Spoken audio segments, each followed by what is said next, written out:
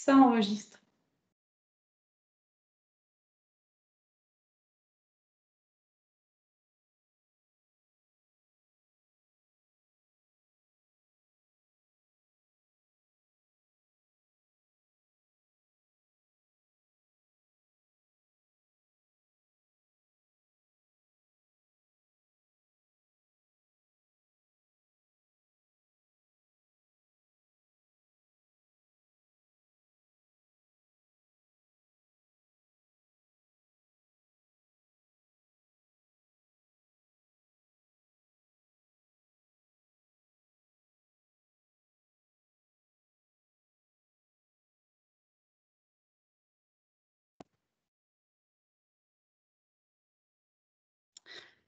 On va peut-être commencer euh, tout doucement en attendant que les dernières personnes euh, se connectent.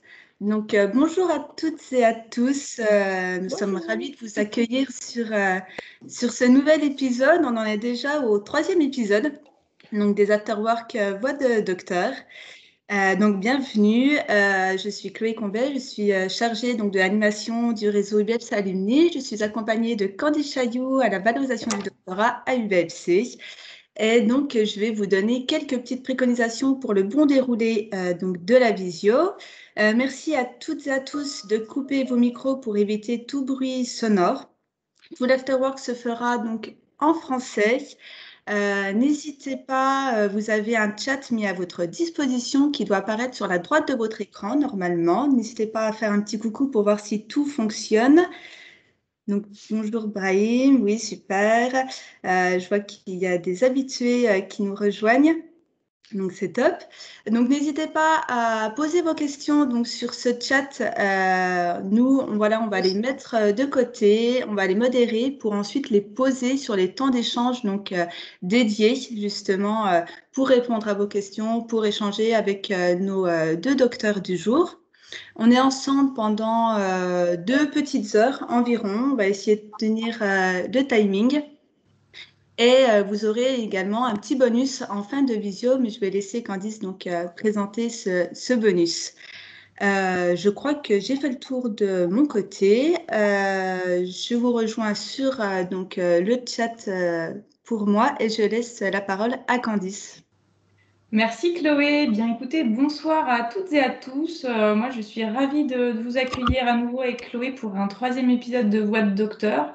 Donc, pour recaler un tout petit peu le, principe pour celles et ceux qui connaissent pas encore, on, a vu qu'il y avait quand même encore pas mal d'habitués qui s'étaient connectés. Donc, euh, merci encore pour votre fidélité. Mais pour celles et ceux qui n'ont pas encore assisté euh, à un Voix de Docteur, le principe est simple. Ce sont des after-work de témoignages de docteurs en poste qui viennent parler de leur parcours professionnel. On part du principe que pour, euh, pour vous aider euh, dans votre plan de carrière, pour vous inspirer euh, dans votre projet professionnel, il n'y a pas de meilleur témoin que des docteurs en poste pour vous parler de ce qu'ils ont vécu. Et c'est ce qu'on a décidé de proposer depuis le début de l'année avec Chloé, avec donc UBFC Alumni et la mission doctorale du BFC, de vous proposer chaque mois, un jeudi par mois, des deux témoignages de docteurs en poste, euh, que ce soit des postes euh, académiques ou extra-académiques, en essayant de varier les disciplines, euh, les branches disciplinaires, des postes occupés.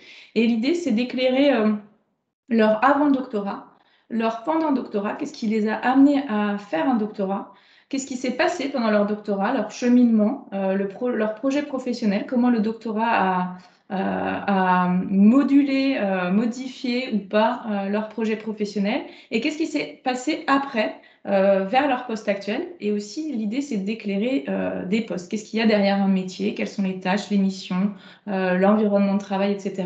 Pour que vous puissiez avoir une idée un peu plus concrète de ce qu'il peut y avoir comme voie de carrière possible après un doctorat. D'où l'intitulé de, de nos afterwork, voie de docteur on laisse la voix au docteur pour vous parler des voies de carrière possibles.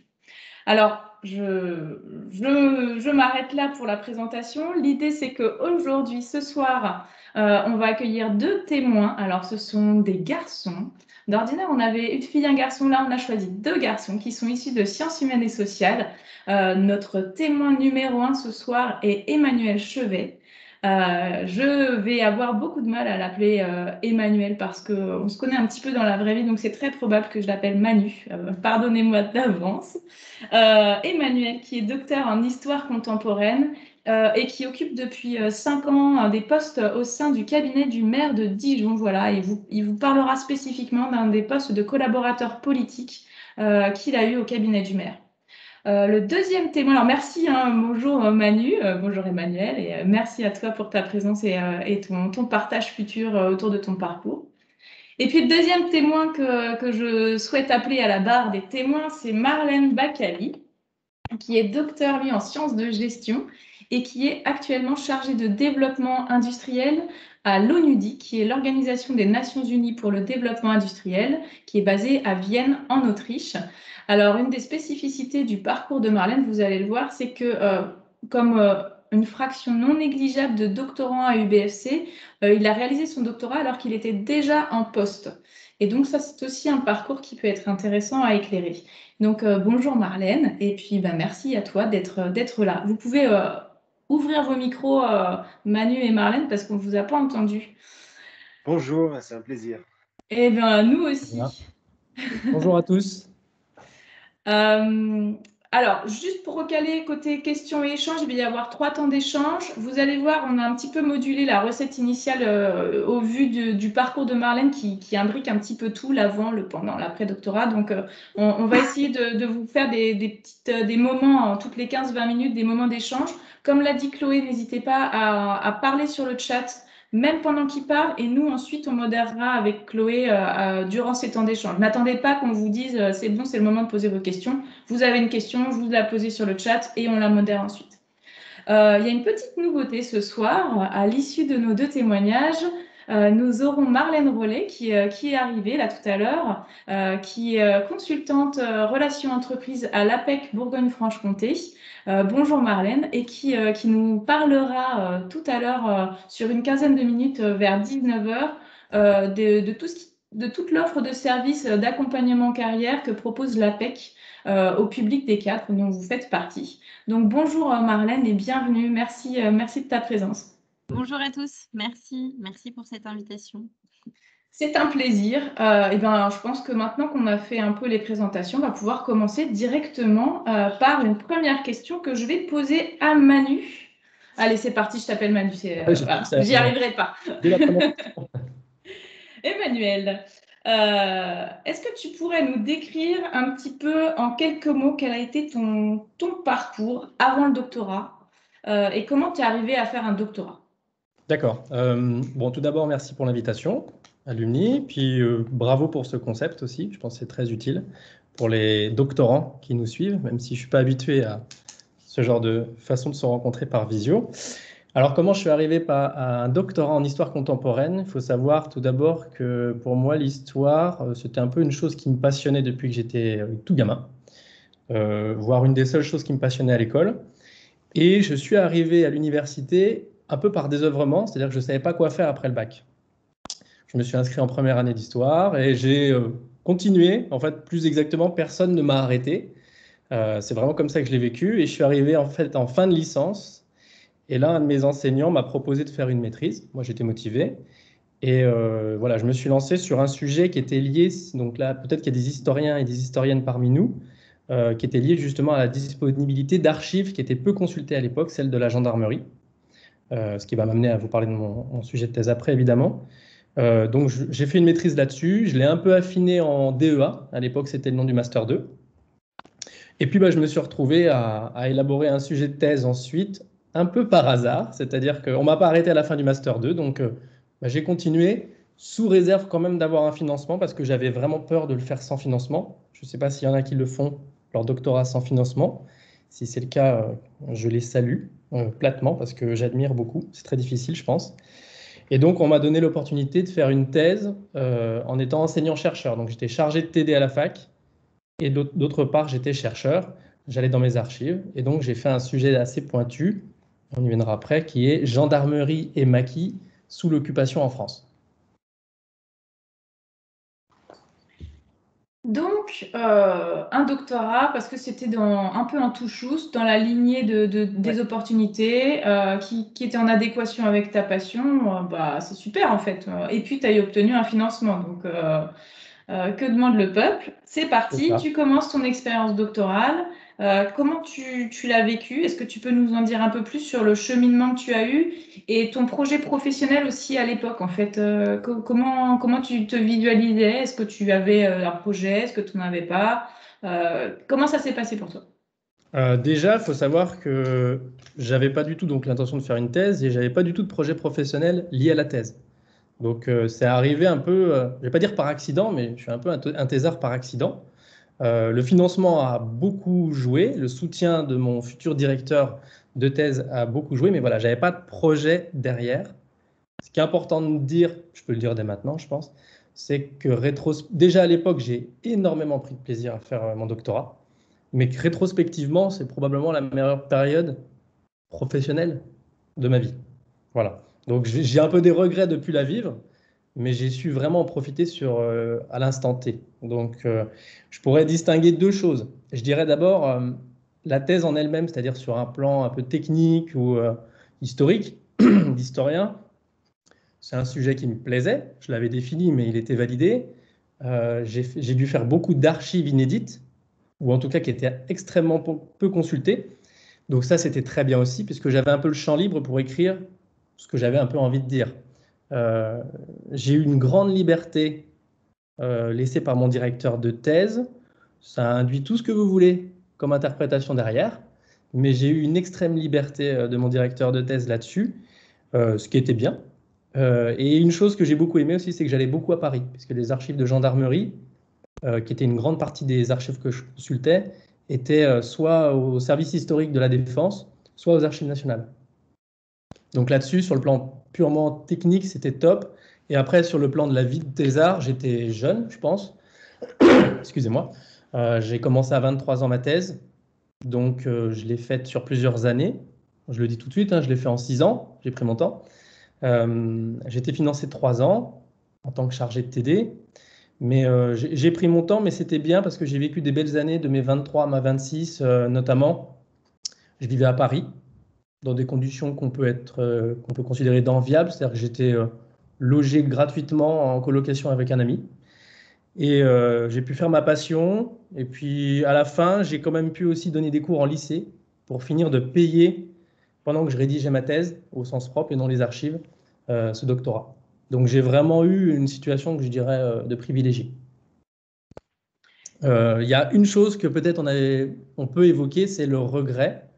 J'ai un regret dans le cadre de mon doctorat. Alors, on pourrait dire peut-être de ne pas avoir compris les codes académiques à cette époque, mais j'étais jeune, je pense.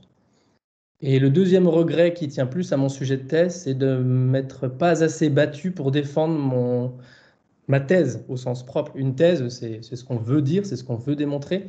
Et je l'ai peut-être pas assez, euh, je me suis pas assez battu contre mon directeur de thèse qui m'a imposé un plan moi, c'était un plan chronologique, mon histoire, qui n'était pas le mien, et voilà, c'était mon seul regret. Donc oui, un, plan qui ne te ressemblait pas spécialement. Non. Euh, tu parlais là, justement là tout à l'heure du fait que ton financement s'est arrêté. Et euh, du coup, tu as du coup euh, pris un poste d'enseignant en collège, tu m'as dit En lycée. En, lycée. Pendant deux ans et demi. qui t'a permis de, de continuer et de, bah, de réussir à terminer ta thèse euh, en ayant les ressources financières suffisantes. Euh, j'imagine que ça t'a apporté quand même aussi quelque chose. Ça, ça, va, c'était simple à gérer euh, ce, ce double, cette double activité? Oui, et je dirais même que c'était salutaire. ça me permet de recouper avec ce qui a été dit précédemment sur le fait d'avoir fait des ateliers de vulgarisation scientifique. J'ai jamais été formé pour être enseignant. C'est-à-dire que j'ai eu mon financement, du jour au lendemain, j'étais chargé de TD à la fac, avec des élèves qui étaient extrêmement intéressés, des premières années ou des troisièmes années. Quand trois ans plus tard, j'arrive devant des lycéens, c'est des secondes, eux, enfin, tout le monde se souvient de son époque où il était en seconde, il n'était pas toujours spécialement intéressé par les cours d'histoire. Donc, il faut trouver des ressorts et on apprend sur le tas. Et c'est probablement un des plus beaux métiers que je connaisse, hein, d'être enseignant. Après, c'est le contexte n'est pas toujours facile. Moi, j'ai eu encore une fois le privilège d'enseigner dans un super lycée avec des super élèves, donc euh, ça a été une expérience formidable.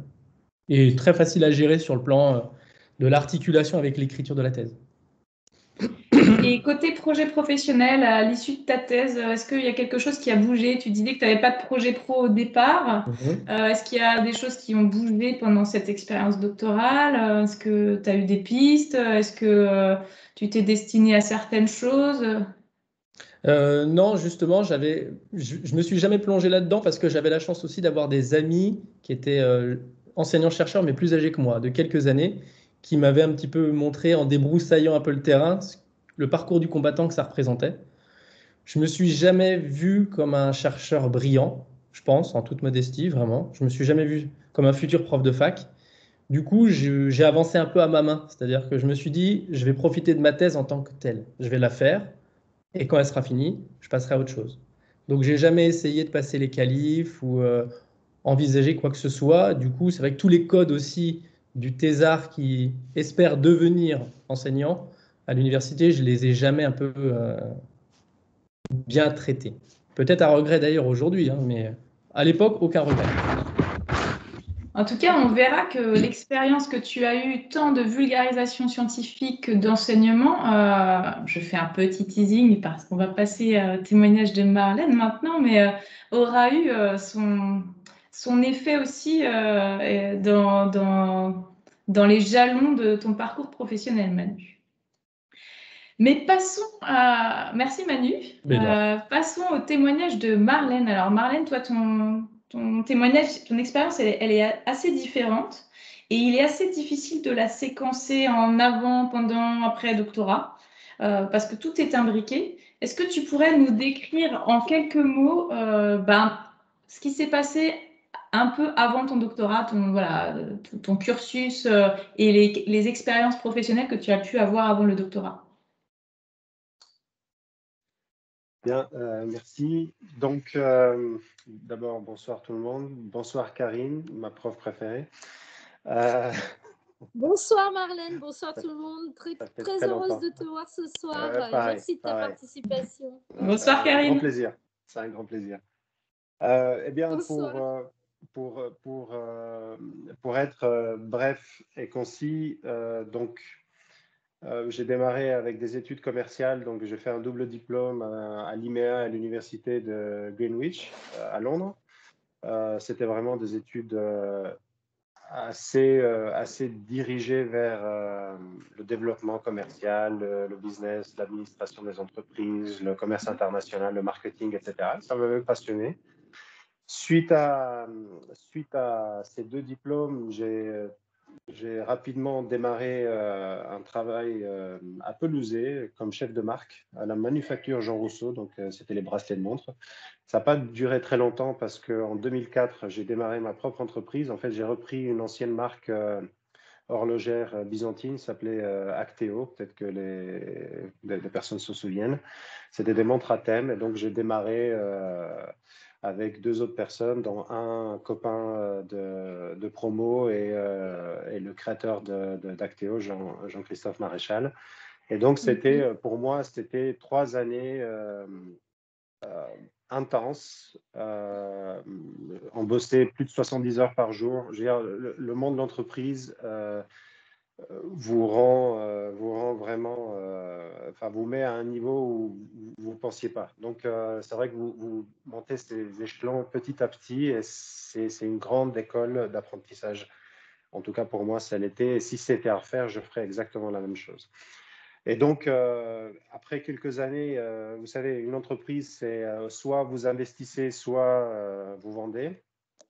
Euh, j'avais pas mal de requins qui tournaient autour de moi à ce moment-là, et donc euh, j'étais encore un peu jeune. Euh, je devais avoir 27 ans, où j'ai décidé de finalement de passer la main. Donc j'ai vendu mes parts, et, en fait un peu, un peu rapidement, j'avais regardé. Je voulais en fait, je voulais pas travailler tout de suite, et j'ai regardé pour faire un master à l'Université de Franche-Comté. Et c'est là euh, que le master proposé par, euh, euh, Karim Brisset, qui s'appelle aujourd'hui IHA. Si je me... Donc, euh, nous, c'était Master en sciences éco, mention ingénierie des places de marché électronique. C'est un nom assez, euh, imposant. mais en gros, il y avait, beaucoup, il y avait de l'éco, il y avait négociation. Enfin, c'est un master vraiment tourné sur les processus achats, le e-commerce, enfin le e-achat, pardon. Euh, les enchères. Euh, donc vraiment, ça m'a passionné. Ça m'a remis un peu dans le bain parce que honnêtement, on oublie rapidement euh, tout ce qu'on a appris. Je savais même plus faire une dérivée, c'est pour dire que comme c'était pitoyable, mais c'est vrai que c'est un challenge à chaque fois et on en sort grandi, je pense. Aujourd'hui, voilà, enfin, je vais, un peu parler ensuite de ça. Euh, euh, et, suite à ce master, j'avais soit le choix de. Donc, j'ai eu deux propositions de poste, soit comme acheteur chez Manitowoc, où j'avais fait euh, mon stage à Eculi. Donc, Manitowoc, c'est le groupe Potin, c'est les grues. soit c'était l'entreprise SIS à Avoudrey, donc un autre poste en direction commerciale. Donc, c'est ce que j'ai pris. et j'ai travaillé avec eux pendant six mois.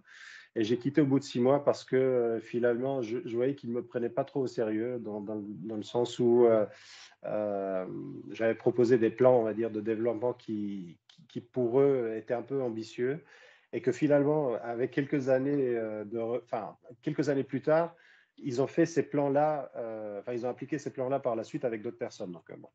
Mais en tout cas... je te coupe une seconde. En fait, on, voit, on, te voit très bien euh, le menton et euh, la chemise, mais on voit moins tes jolis yeux. Voilà, c'est encore mieux ça. D'accord. Excuse-moi de t'avoir coupé. ouais, on voit mieux. Merci. Ok. Euh, donc, donc, donc, je quitte SIS et je pars en Chine. J'ai vécu, pareil, presque deux années merveilleuses de ma vie où j'ai rencontré ma future femme en fait, je, la connaissais d'avant, mais en tout cas, c'est une longue histoire. C'est un peu, c'est une histoire dans l'histoire. Euh, bref, et là, euh, de la Chine, euh, mon épouse, elle, elle, avait vécu 11 ans en Chine, elle en avait un peu assez. Elle voulait changer. Et donc, moi, j'avais commencé à postuler et j'atterris mon avion. Donc, c'est là où j'ai été pris comme consultant en marketing à l'ONUDI, en Éthiopie. Donc l'Éthiopie, donc l'industrie du cuir, donc euh, ce, qui, était un peu en rapport avec mes, mes, deux premières expériences, donc euh, la manufacture Jean Rousseau et puis SIS euh, à Voudray, qui est une manufacture, enfin c'est une, ils font, ils font de la maroquinerie, des, bracelets en cuir, etc.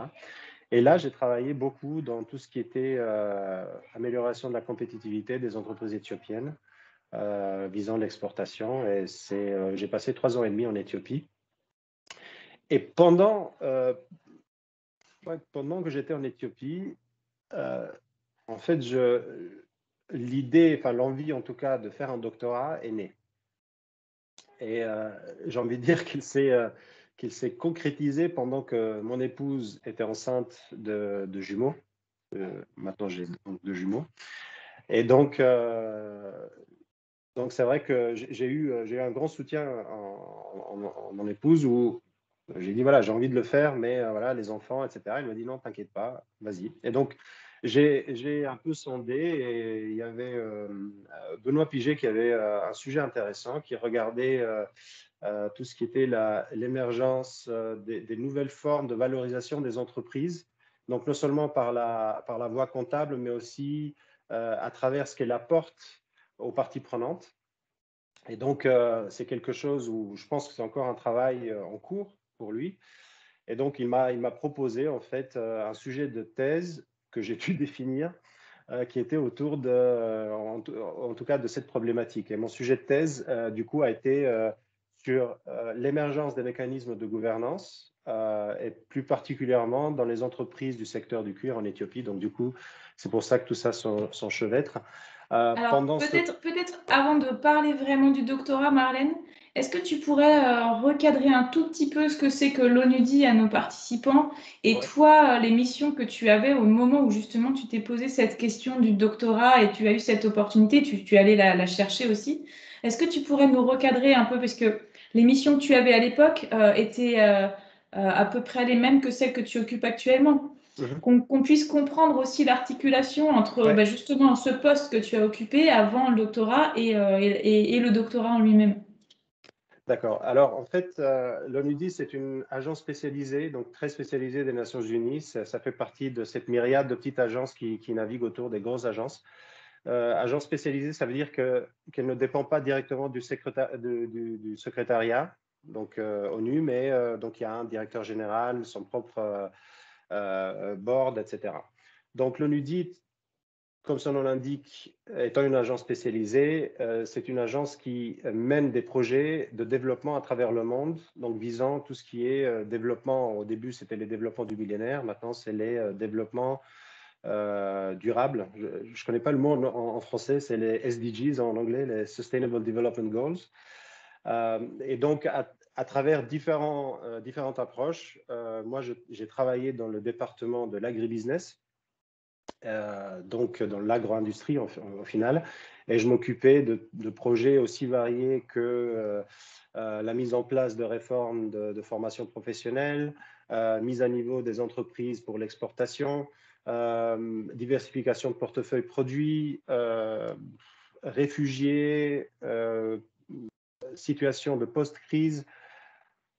Enfin, j'en passe. je crois que j'ai dû toucher un peu à tout et beaucoup de choses et que c'est vrai qu'à la fin, ça, fait un CV assez chargé euh, et, et, compliqué à vendre aussi parce que à chaque fois, on doit expliquer, mais comment ça vous faites ça aussi Non, mais enfin voilà. Donc c'est et, pour, dire que finalement, le doctorat en fait naît de cette envie de, rentrer un peu plus dans, en tout cas, de devenir une espèce de entre guillemets autorité dans le domaine qui était le mien, qui est la le commercial. Donc, euh, j'ai fait des études de business administration, donc administration des entreprises, euh, commerce international. Mon master, c'est plutôt achat, donc euh, un côté les ventes, le côté achat. Et puis la thèse, c'est plutôt le management, donc qui, regroupe en fait, qui englobe le tout. Donc, donc j'arrivais dans des sujets et variés comme, comme ceux que j'ai annoncés, avec entre guillemets cette euh, ce besoin d'être une autorité, parce qu'à la fin, euh, en face de moi, j'avais aussi des docteurs, des professeurs, etc., qui, euh, voilà, qui attendaient en fait un vis-à-vis, entre guillemets, du même niveau d'éducation qu'eux. Donc du coup, le doctorat est arrivé comme une suite un peu logique de ta montée en compétences par rapport typiquement à la gestion de projet que tu avais à mener au sein de l'ONUDI, si je comprends bien. Et, euh, et, je me souviens quand on a préparé un peu euh, bah, ce, ce, moment, euh, cette, cette action-là, tu m'as dit aussi que toi, dans ta pratique, tu avais déjà un peu un, un terreau fertile de recherche qui pouvait, avec un carnet, etc., d'observation, tu avais déjà eu une méthodologie de travail qui pouvait s'apparenter au doctorat et, et que finalement, c'était presque voilà, une suite logique de, de ça. En fait, euh, oui, après, c'est vrai que euh, c'était compliqué en fait, de vraiment cerner le, projet, le, sujet par rapport à, la, grande thèse de, mon, directeur de thèse. Donc, c'est vrai que là, j'ai un peu tourné autour du pot pendant au moins une bonne année et demie, euh, réellement. c'est vrai que, comme disait Emmanuel, on est un peu, donc on a une grande liberté avec tout ce que ça, ça comporte derrière.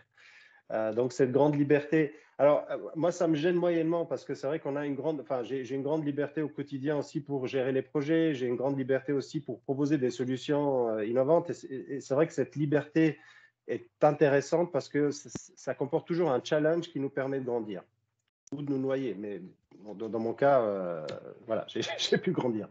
le gros problème avec le doctorat, c'est que c'est une, il y a une méthodologie et c'est une méthodologie assez, euh, dire, assez éprouvée, finalement. Donc, euh, c'est une méthodologie qu'il faut suivre. Après, derrière, euh, ce, qui, a, fait que ma thèse était assez intéressante pour mon, directeur de thèse, c'est que finalement, il y avait un côté, je, suis, observateur et partie prenante en même temps, donc avec tous les, biais que ça peut comporter. une étude de, de cas, à l'intérieur et puis une étude quantitative. Donc j'ai essayé de, proposer une triangulation. C'est vrai que ça fait une thèse assez dense au final, qui était euh, à la limite de la gouvernance, donc entre gestion et RH. À chaque fois, on, on naviguait un peu, euh, en serpenter un petit peu dans cette ligne-là. Euh, mais c'est vrai que s'il y a quelque chose aujourd'hui, enfin, le, dire, euh, la conclusion de tout cela, c'est quelque chose que quelqu'un m'avait dit il y a très longtemps, c'est que l'école, donc c'est quelqu'un qui avait fait beaucoup de beaucoup d'argent dans les affaires, il m'a dit finalement vous euh, vous qui étudiez tout le temps, l'école vous apprend une chose, c'est elle vous apprend à apprendre. Et donc, euh, il ne croyait pas si bien dire, parce que c'est vrai qu'on a, à force de lire et d'absorber et de, synthétiser tout le temps, on, a, on acquiert une capacité d'apprentissage et de, synthèse assez, euh, assez importante. Et donc, pour le coup, on se retrouve à chaque fois dans des situations, euh, donc pour, pour, tous les doctorants qui, qui écoutent, ne croyez pas que tout, tout, tout, est planifié, on est, on est souvent charrette, même dans le monde du travail. Et donc, le fait, le fait d'avoir, euh, cette capacité de synthèse, d'absorption d'informations et de, de, de, pouvoir euh, euh, distiller l'essence en une page, en quelques mots, etc., c'est quelque chose que le doctorat vous, vous, l'apprendra. Et, en tout cas, c'était le cas pour moi. Donc, donc oui, aujourd'hui, aujourd'hui, en regardant avec le recul, je, ouais, je sais pas, j'aurais aimé avoir un peu plus de euh, d'avoir ouais, une structure un peu plus, plus imposée finalement. Puis finalement, je me dis, non, euh, c'est ce qui m'a permis peut-être de grandir et de, de, de, venir. Alors voilà, on a bien compris entre les lignes de vos deux témoignages que euh, côté encadrant, vous étiez très libre. Donc on peut imaginer, allez, je le dis tout haut, ce que vous n'avez pas dit c'est que vos encadrants étaient très peu disponibles surtout, et que du coup, ça vous a quand même conféré, malgré euh, les difficultés que ça peut engendrer, une, grande autonomie qui vous sert encore aujourd'hui, et avec cette capacité, comme euh, tu l'as dit Marlène, euh, effectivement, d'absorption de connaissances, d'engranger de la connaissance et de la synthétiser, et ensuite d'en refaire quelque chose. ça, effectivement, c'est une compétence qui... qui est très associée à l'expérience doctorale. Donc, merci d'en reparler, parce que c'est avis à tous les participants et les participantes, euh, gardez ça bien en tête, cette expérience doctorale-là, rien que pour ça, elle n'est pas perdue. non, non, mais c'est clair. Alors, bah, merci déjà pour vos deux témoignages. On voit le temps qui tourne. On aura encore plein de questions à vous poser et c'est le moment justement. Donc, euh, Chloé, je, t'ai laissé regarder peut-être euh, le, chat. Est-ce que tu pourrais nous dire un peu? Alors, on a deux petites questions pour l'instant. Alors, peut-être une petite précision, car on nous demande si le poste de chargé de TD est équivalent au contrat doctoral. Ah, Manu, tu n'as pas, pas, ton micro. Alors, pour vous dire, en fait, je fais très peu de visio dans mon travail, donc je ne suis pas très rodé euh, à votre système de visio. Euh, oui, l'allocation doctorale. Ça s'appelait l'allocation doctorale. Euh, donc, c'était euh, un contrat qui incluait de l'enseignement et de la recherche. Je pense que ça doit répondre à la question. Et également une autre question. Marlène, qu'est-ce que tes expériences professionnelles t'ont apporté pour réussir ta thèse en termes de compétences? Euh, en fait, voilà, je, vais essayer de trouver un mot qui résume euh, l'adaptabilité.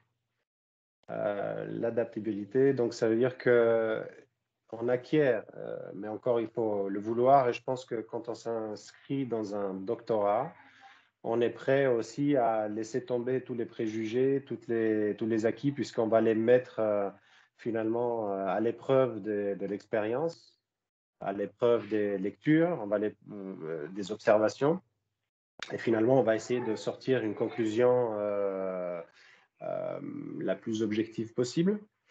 donc, cette adaptabilité que, j'ai mentionnée plus tôt, ben on l'acquiert forcément parce qu'on on garde cet esprit ouvert. Et donc, pour le coup, c'est pour ça que moi, j'ai jamais eu un problème en fait d'avoir plusieurs projets qui n'avaient rien à voir l'un avec l'autre. À un moment donné, je gérais, euh, je gérais un portefeuille de presque 50 millions d'euros de projets.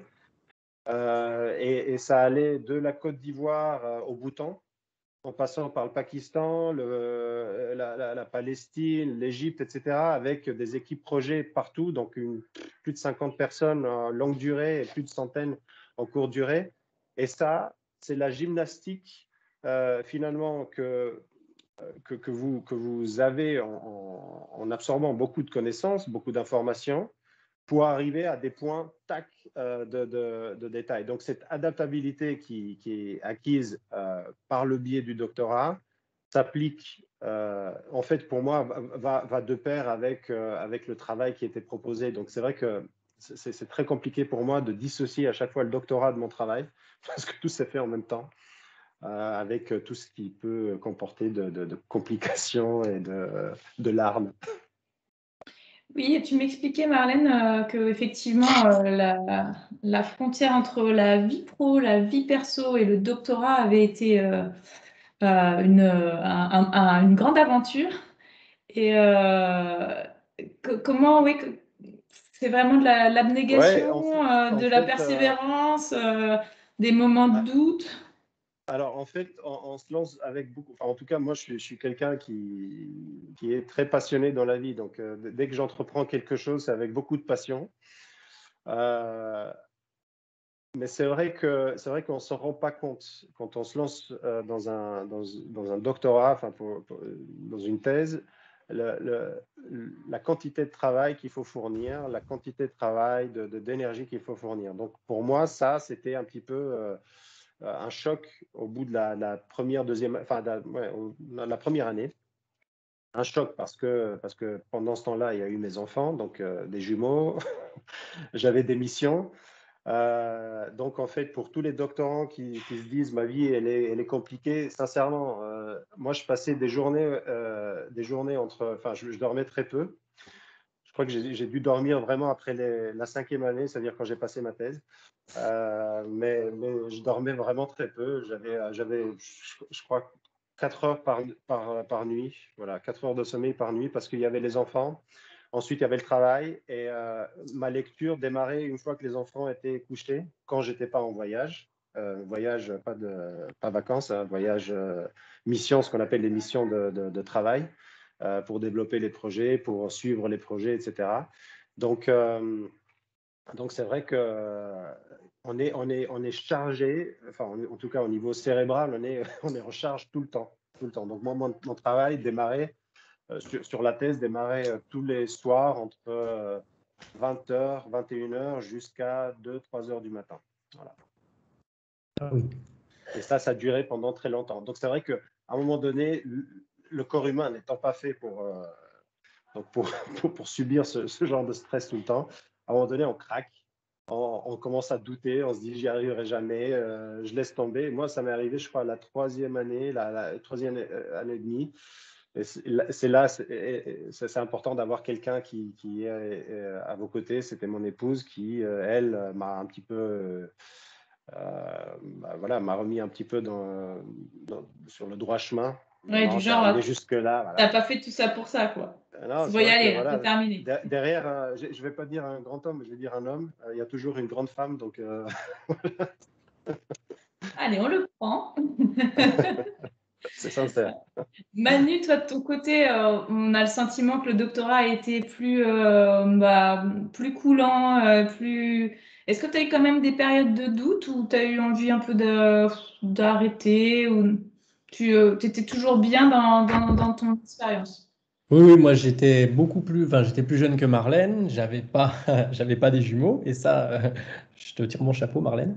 Euh, je vois très bien ce que c'est au niveau des horaires là, ce que tu décris, pour être juste moi papa, mais bien après la thèse, euh, mais pas de jumeaux d'ailleurs. Donc non, non, moi j'ai jamais eu cette période de... compliquée, j'ai jamais eu cette période de, doute, sauf quand le financement des trois ans s'est tari, mais ça a duré deux mois le temps que je trouve un travail comme vacataire en lycée, donc non, non, j'étais, enfin, moi je la soutiens, je suis relativement, relativement jeune, donc euh, j'ai tout juste 29 ans à peu près, donc c'est.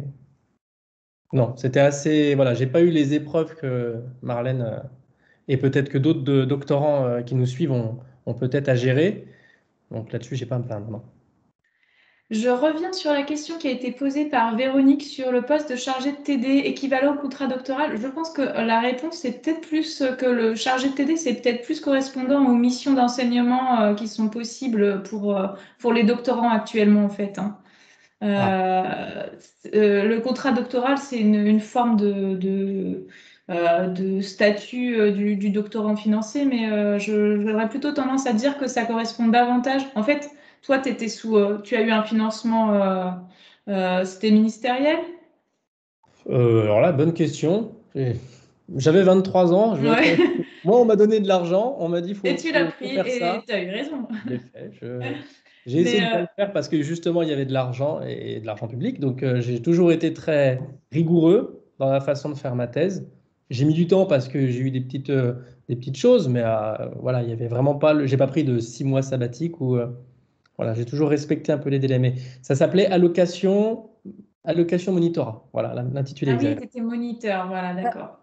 Candice, est-ce que tu me permets d'intervenir? Bien sûr, Karine. Alors, Karine, est-ce que je peux te présenter? Karine est euh, directrice de l'école doctorale droit, gestion, économie politique à UBFC. Voilà, euh, bon, donc euh, voilà, donc je, me permets d'intervenir. Donc c'est vrai qu'à l'époque, il y avait en plus du contrat doctoral la possibilité d'avoir un statut d'allocataire moniteur. Euh, pour lequel euh, il y avait également une formation spécifique qui avait lieu la plupart du temps euh, à Lyon. ce statut a évolué. Aujourd'hui, donc, les doctorants qui ont la chance d'avoir un contrat doctoral, que ce soit un contrat doctoral financé par la région ou même un contrat financé par ICIT, hein, UBFC, ou un contrat ministériel, ont la possibilité de candidater pour des postes spécifiques d'enseignants. De, hein, euh, donc, euh, et euh, ces postes sont alloués par les universités. C'est-à-dire pour nous, c'est UFC un certain nombre de postes à proposer. Euh, c'est pas automatique. Hein, et l'UB, l'Université de Bourgogne également. Et d'ailleurs, les, directeurs d'école doctorale et les directeurs euh, des différents établissements, euh, des, euh, différentes UFR se réunissent en août. donc pour allouer en fait ces contrats spécifiques qui viennent en complément du contrat doctoral et qui représentent un service d'enseignement de 64 heures TD annuel. Voilà. Euh, mais il faut savoir aussi que quand vous êtes doctorant, euh, vous avez en dehors de ces contrats spécifiques la possibilité d'avoir un autre type de contrat pour, euh, alors je ne vais pas dire des vacations parce que ce n'est pas le terme qu'on utilise pour les doctorants, mais aussi procéder à des enseignements, avoir une mission d'enseignement, mais qui est différente de ces contrats spécifiques. Voilà. Merci Karine. On voit toute la complexité euh, des différences, euh, des différentes choses euh, que peuvent faire les doctorants dans, leur, parcours doctoral. Alors, on va peut-être passer à l'acte 2, que j'ai appelé le parcours d'accès à l'emploi. En fait, Là, on va reprendre un petit peu là où on en était avec toi, Manu, tout à l'heure. Donc, tu nous as expliqué, tu as donc euh, euh, fait euh, ta thèse en six ans. les deux dernières années, tu étais prof en lycée pour terminer, bah, de, de, subvenir à tes besoins et terminer tranquillement ta thèse. Qu'est-ce qui s'est passé en fait après? Alors, ça recoupe un peu ce que disait Marlène sur le mélange de la vie pro et de la vie perso, c'est-à-dire que euh, au moment où moi je suis depuis deux ans enseignant en lycée, en histoire, euh, j'ai entre-temps aussi rencontré alors, une femme qui depuis n'est plus ma femme, mais avec qui on a eu un enfant. Et on s'installe et elle avait une grande fille, donc financièrement, euh, les revenus de vacation de lycée ne suffisaient pas du tout si on emménageait ensemble. Pour un ordre d'idée, c'est 600 euros par mois lorsqu'il n'y a pas de vacances scolaires. Donc 300 euros quand il y a des vacances scolaires. Donc c'était un peu compliqué, c'était bien en colocation avec des amis, mais pas en couple avec un enfant. Et donc, il se trouve que j'ai un... Et parce que là, ça recoupe quand même la petite histoire de la vie doctorale. J'ai euh, le spécialiste de l'histoire de des polices en France qui me contacte et que je connaissais par le biais du spécialiste de l'histoire de la gendarmerie en France, euh, quelqu'un qui est professeur à Paris 4, mais que j'avais donc à peine rencontré, celui de la police, et qui me dit, j'ai l'information que vous cherchez euh, du travail par mon collègue de Paris 4, de la gendarmerie. Euh, j'ai vu tel travail à l'Office national des anciens combattants, donc c'est un, office qui relève du ministère de la Défense. Ça pourrait vous intéresser et ça recoupe vos, compétences. Donc j'ai regardé je lui ai dit qu'effectivement, ça pouvait être intéressant, c'était correctement payé, ça faisait un vrai salaire, on va dire. Et donc, il m'a dit, bah, dans ce cas-là, je peux vous recommander auprès du responsable de, cet office. Donc, j'ai carrément appelé l'office et la personne a décroché en disant, si vous vous réclamez et vous avez le soutien de ce professeur d'université spécialiste des polices, on vous prend. Donc, j'ai même pas fait d'entretien. C'est pour donner un peu le côté privilégié encore. Alors, le siège était à Paris, mais moi, j'étais basé à Dijon et je rayonnais dans deux régions, Bourgogne et Franche-Comté. Et voilà, bah, je peux peut-être développer dans la foulée ce que c'était. Si, ah, bien sûr, ouais. Mon, travail consistait en fait à valoriser ce qu'on appelle le devoir de mémoire euh, auprès du grand public et plus particulièrement des jeunes. Et on était deux. J'avais une collègue, c'était une création de poste. Et euh, moi, je m'occupais vraiment de valoriser euh, tout ce qui était le devoir de mémoire auprès des anciens, bah, bon, de la première guerre qui était plus vivant, mais seconde guerre, guerre d'Algérie, Indochine et ce qu'on appelle aujourd'hui des opérations extérieures. Bah, de le faire connaître au grand public. Donc, on utilisait des outils de médiation. C'était de la com, évidemment, mais aussi quelque chose de plus pédagogique et culturel. Donc moi, je me suis vraiment centré sur les jeunes. Donc j'ai lancé un concours de bande dessinée sur le thème. Euh, j'ai animé des émissions radio euh, en lien avec Radio Dijon Campus, ce qui m'a permis de rencontrer des gens que j'ai beaucoup appréciés, que j'apprécie encore. Et je me suis inspiré de ce que faisait l'expérimentarium, auquel j'avais participé dans le cadre de ma thèse, pour faire des ateliers pédagogiques en milieu scolaire. Donc collège et lycée, et on animait des bons avec des, avec des témoins, avec aussi des spécialistes ou même aussi des dessinateurs de presse à qui on demandait de faire des croquis et d'inviter les élèves en atelier et en groupe à, travailler euh, sur des sujets. L'idée, c'était de faire réfléchir les jeunes sur le devoir de mémoire, tout simplement.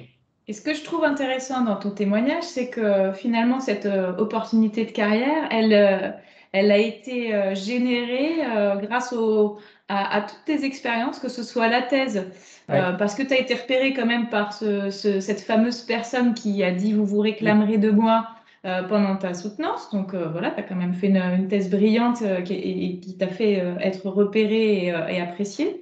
tu as réalisé des actions de médiation scientifique, donc je fais toujours autant de pubs pour l'expérimentarium. maintenant, vous commencez à avoir l'habitude, faites-la, cette formation, elle est très utile. allez faire des ateliers de vulgarisation auprès du grand public, des scolaires, c'est un vrai plaisir et ça vous servira plus tard.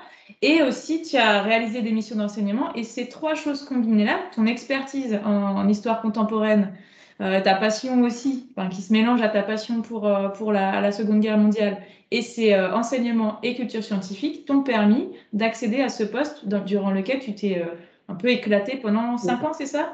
C'est ça, pendant cinq ans. J'étais comme dans ma thèse, un peu autonome. Donc c'était très intéressant.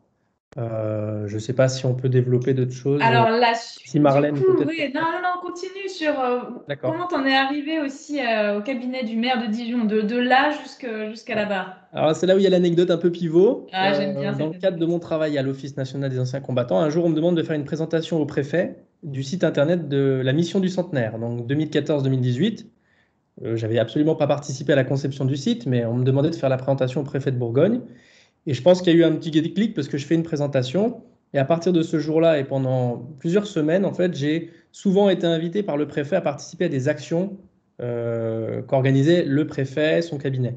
Euh, alors, sans rentrer dans le détail euh, que j'ai pu raconter en off dans la préparation, où il y a quelque chose, des fois des anecdotes assez cocasses, mais je me retrouve en fait ni plus ni moins avec le préfet qui me propose de faire un stage en immersion au sein de son cabinet stage qui va durer six mois. Donc, je fais des réunions du matin et du soir avec son équipe resserrée, en plus de mon travail.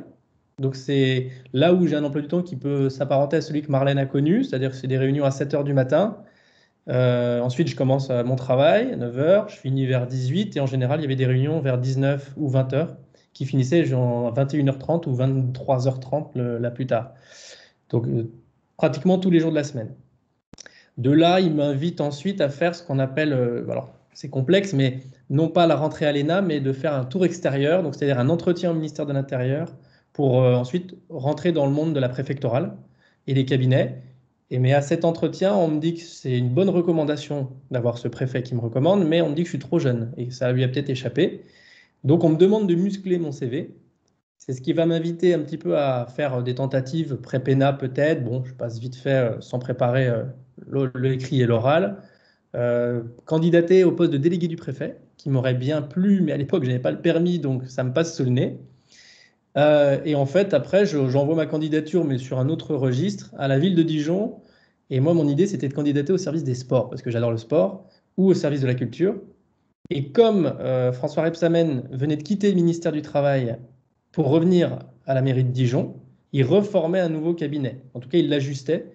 Et mon CV est tombé en fait sur le bureau de la chef de cabinet qui l'a fait, euh, qui m'a rencontré, qui a fait remonter à la directrice de cabinet et ainsi de suite. Ça s'est passé en fait par hasard, c'est-à-dire que je candidate pour le service des sports, finalement je me retrouve au cabinet, un peu par hasard. Par hasard, mais euh, je me souviens que dans la préparation, tu me disais que tu avais passé un entretien euh, dans, ce, auprès de la, c'était la, directrice de cabinet. et tu l'as sans illusion, mais quand même, elle t'a dit un truc euh, qui était assez marquant sur ton profil, en fait, parce qu'effectivement, euh, là, on, se dit, waouh, tu, passes de l'ONAC au, au, cabinet du maire, euh, mais elle t'a quand même dit quelque chose qui est intéressant, je pense, à partager avec les participants par rapport à ton profil. En fait, ce qui se passe, c'est qu'elle elle a cette phrase, je pense ne pas trahir en disant cette phrase de sa part, elle, m'avait dit, euh, on avait fait quand même un entretien d'une heure et demie quasiment, on avait parlé beaucoup de choses, et elle m'avait dit que, bon, déjà, le principe même d'avoir quelqu'un qui avait fait un doctorat en histoire lui parlait beaucoup, d'avoir le principe même du doctorat, d'ailleurs, pas que histoire, d'avoir un docteur euh, était très intéressant, et elle m'avait dit cette phrase en disant, des, bons CV et des très bons CV, on en voit beaucoup, mais euh, des CV originaux, comme le vôtre, ça interpelle. C'est ce qui, elle, l'avait interpellé, visiblement. Donc, euh, évidemment, on a parlé de choses très politiques qui n'étaient pas mon ressort, ni même, euh, ni même une grande appétence de mon côté à l'époque, mais visiblement, il y avait quelque chose qui était. Euh, voilà, c'est. C'est pas bon, je le développerai peut-être plus après, mais il n'y a pas que des, c'est pas des esprits formatés finalement aussi dans cet univers, et donc il y avait des profils. Le doctorat a clairement joué, je pense. Et finalement, du coup, toi, tu te destinais plutôt au service des sports, tu te retrouves collaborateur euh, politique au cabinet du maire. C'est cela.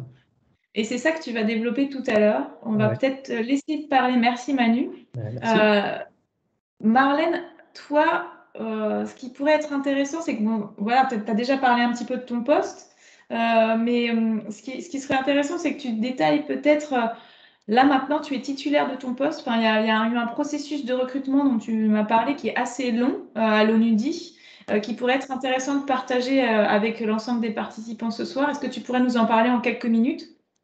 Alors, donc les processus de sélection aux Nations Unies, donc c'est des processus très transparents, j'ai envie de dire, et il y en a certains qui sont moins transparents. Donc, dans les moins transparents, ils ont déjà quelqu'un et ils font juste une publication de poste mais ils savent qu'ils vont prendre. J'ai eu la chance, parce que c'est à chaque fois des questions de chance, des questions de rencontre, euh, mais j'ai eu la chance en fait euh, d'être dans une position qui n'avait pas de recommandation particulière, donc qui était très ouverte. Et donc le processus de sélection, en tout cas, se passait sur deux jours. Donc la première journée, enfin sur pas, pas sur deux jours, mais deux jours, c'était en fait la, la, liste finale de sept personnes. Euh, j'ai su après qu'on on avait été 135 en fait à passer la première euh, le dossier, enfin la sélection sur le dossier, une présélection sur le dossier, ensuite euh, une présélection téléphonique et, et, ensuite venait le, le, vrai moment de la sélection. Donc il y avait deux sujets, un sujet, enfin deux sujets à préparer en deux heures. par écrit. Donc le premier, c'était sur, sur un, donc un Word, euh, quelque chose de particulier par rapport au département où j'allais euh, postuler, donc qui était l'agribusiness, les agro-industries. Euh, et le deuxième sujet, c'était sur les industries créatives. Parce que, parce que figurez-vous que les industries créatives, ce n'est pas juste tout, ce qui est, tout ce qui a trait à l'art, mais ça peut être aussi tout ce qui est euh, travail de production lié à l'artisanat. Et euh, dans, le développement, on a beaucoup, beaucoup, beaucoup d'artisans qui peuvent à un moment donné devenir des clusters. Et ces clusters deviennent des, ce qu'on connaît aujourd'hui comme euh, les, les, clusters de porteurs ou alors les districts industriels de Marshall. 87, 1897, pardon. donc, donc, donc, un sujet, donc, euh, donc un petit essai par écrit, et le deuxième, c'est une présentation PowerPoint euh, de 10 minutes qu'on doit présenter devant tout le collectif, c'est-à-dire tout le département. Donc des gens qui vont être potentiellement vos futurs collègues, et c'est eux qui vont aussi donner une note à la présentation. Le temps, le timing est important, évidemment les idées. Donc il faut savoir, il faut savoir être précis, concis, et qu'en 10 minutes, vous puissiez dire ce que vous, enfin, ce qu'il faut dire sans, sans, sans dépasser ce temps-là. Une fois que cette première journée est passée, il y a la deuxième journée avec le panel, lequel euh, donc c'est euh, six professionnels, un, directeur des opérations, un chef d'unité, etc., qui vont, vont et, et, les RH qui vont bombarder de questions aussi diverses et variées euh, par rapport à l'expérience. Et puis, une fois que c'est fait, euh, bah, c'est le directeur général qui vous, euh, nomme en fait à, ce poste-là. C'est des, des, contrats. Euh, c'est des contrats. C'est pas des contrats à durée indéterminée. Ça n'existe pas aux Nations Unies. Ça n'existe plus. C'est des contrats à durée déterminée de, trois ans renouvelables. certaines agences, c'est jusqu'à sept ans, et puis après, il faut trouver autre chose. Euh, d'autres agences, c'est un an renouvelable. Le PNUD, par exemple, le Programme des Nations Unies pour le développement, c'est un an renouvelable. Alors, cela dit, il y a, des, personnes qui travaillent depuis 30 ans euh, avec un an renouvelable. Mais, euh, voilà. Donc ça, c'est ça fait partie, entre guillemets, un peu de cette, euh, épée de Damoclès qui est euh, au-dessus de nos têtes à chaque fois. sur les, ça, dépend en fait de la disponibilité des fonds, euh, les États membres, etc. Donc, c'est des budgets, c'est des budgets qui sont votés tous les deux ans. C'est des budgets qui doivent être ratifiés par les États membres, etc., etc. Et donc, moi, je suis, en fait, moi, je suis arrivé à l'OMIDI et c'est ça qui est un peu comique, entre guillemets. La France venait de se retirer de l'ONUDI au moment où j'étais euh, nommé à, ce, poste-là. Donc c'est vrai qu'on euh, n'a pas de représentation politique à proprement parler à l'ONUDI. Donc ça, ça, devient un peu euh, compliqué pour moi de monter en fait les grades, même si, même si au niveau travail, j'abats le, le, quadruple du travail par rapport à beaucoup d'autres collègues qui sont États membres. Donc là, concrètement, du coup, ça veut dire que malgré toutes ces étapes que tu as franchies pour, euh, pour être recruté, tu as mhm. toujours quand même euh, cette épée de Damoclès dont tu parles, en fait. Et qui est très dépendante des fonds, euh, des postes. Voilà, Finalement, il y a, y, a, y a, deux discours. Il y a un discours qui est le travail qu'on fait, donc au niveau technique. Et, là-dessus, encore une fois, je, pense très humblement que je fais un travail euh, assez, assez, euh, assez énorme, assez euh, en, profondeur et, très varié. Et après, il y a une dimension qui est très politique finalement, c'est le bon vouloir des États membres. Donc, je, suis un peu, je suis un peu revenu. En fait, pour, faire une petite parenthèse, Candice et, et collègues, c'est que au tout début, en fait, quand, j'avais eu euh, mes diplômes, je voulais, euh, j'avais postulé à l'ITC euh, à Genève, qui est le International Trade Center, une, une, branche des Nations Unies, pareil, une agence spécialisée. Et la personne, on va dire, qui, que je connaissais, enfin, en tout cas par le biais de mon père, m'a dit T'es mignon, t'as pas, pas le master, donc il faut faire un master avant de, avant de pouvoir postuler dans, dans, ces agences-là. Et puis surtout, il faut avoir beaucoup euh, une, bonne expérience professionnelle. Et c'est vrai que c'est vrai que dix ans plus tard, finalement, je suis rentré aux Nations Unies avec euh, donc c'était un projet finalement qui, qui était resté derrière euh, voilà derrière dans, dans, ma tête, mais qui, qui s'est vraiment concrétisé de manière assez quand, j'y pense, assez énigmatique finalement, parce que ça m'a apporté la Chine, Éthiopie, etc. Et puis boum, on est dit quoi aujourd'hui. tu as finalement exaucé ce, ce vœu-là. ouais, finalement, quand, quand, quand, on veut vraiment quelque chose, ça finit par arriver. Je switch avec Manu parce qu'effectivement, Manu, euh, je t'ai presque coupé euh, la parole parce qu'en fait, on, était, euh, tu, tu, étais au niveau de, de ta, ton recrutement au cabinet du maire, tu étais, on en était au stade de la directrice de cabinet. Mais ce que tu m'avais raconté, c'est que tu as quand même eu aussi un entretien avec le maire en personne. Oui, bien sûr.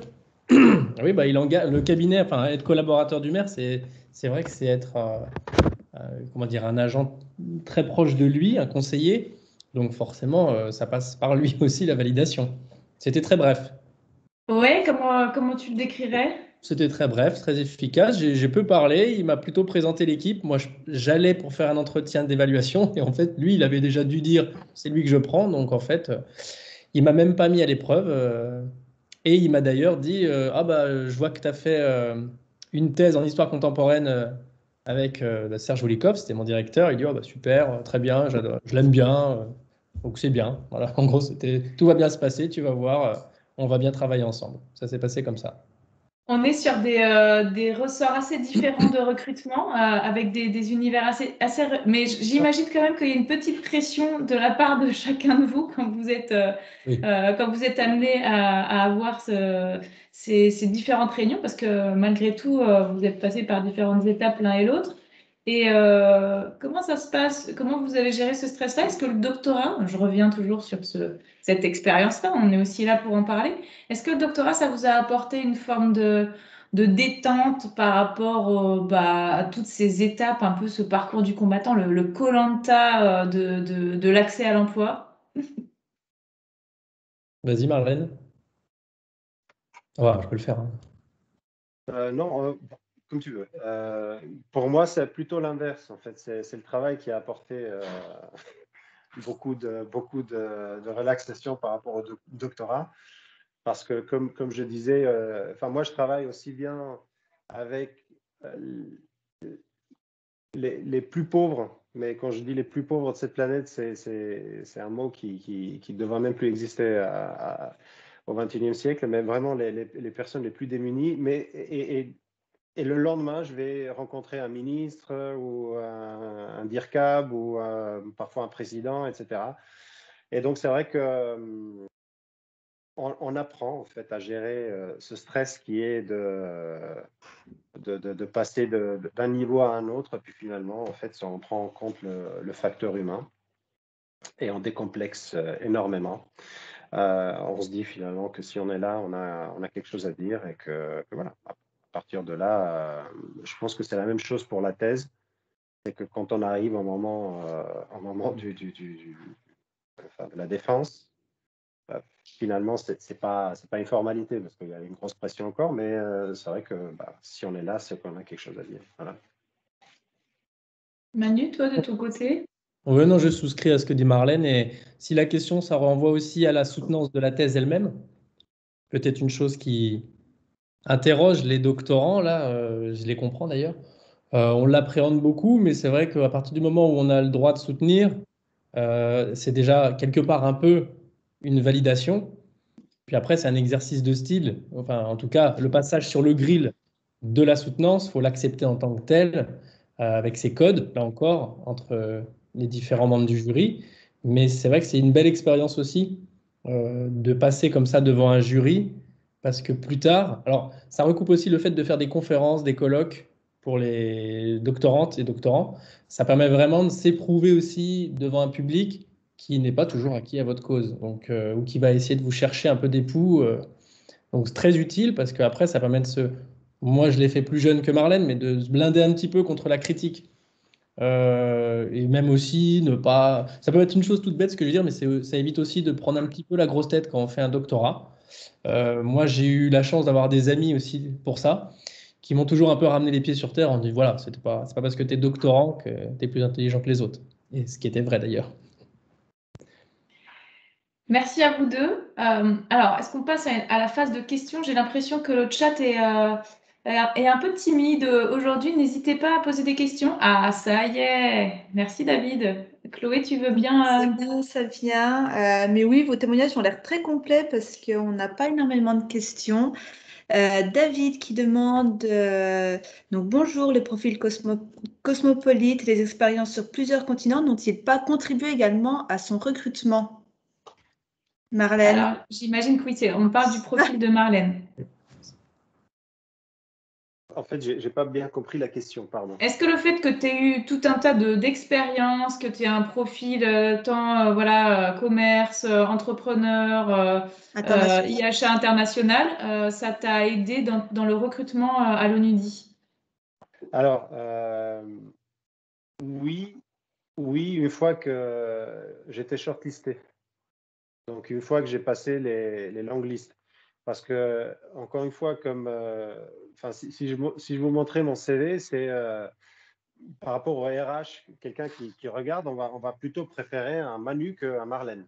C'est plus linéaire, je veux dire, on fait, non, dans le sens où euh, c'est linéaire dans, la brillance, pas évidemment. Mais je dis c'est plus linéaire parce qu'on fait quand même, euh, voilà, on, fait des études et ensuite on, cherche un travail.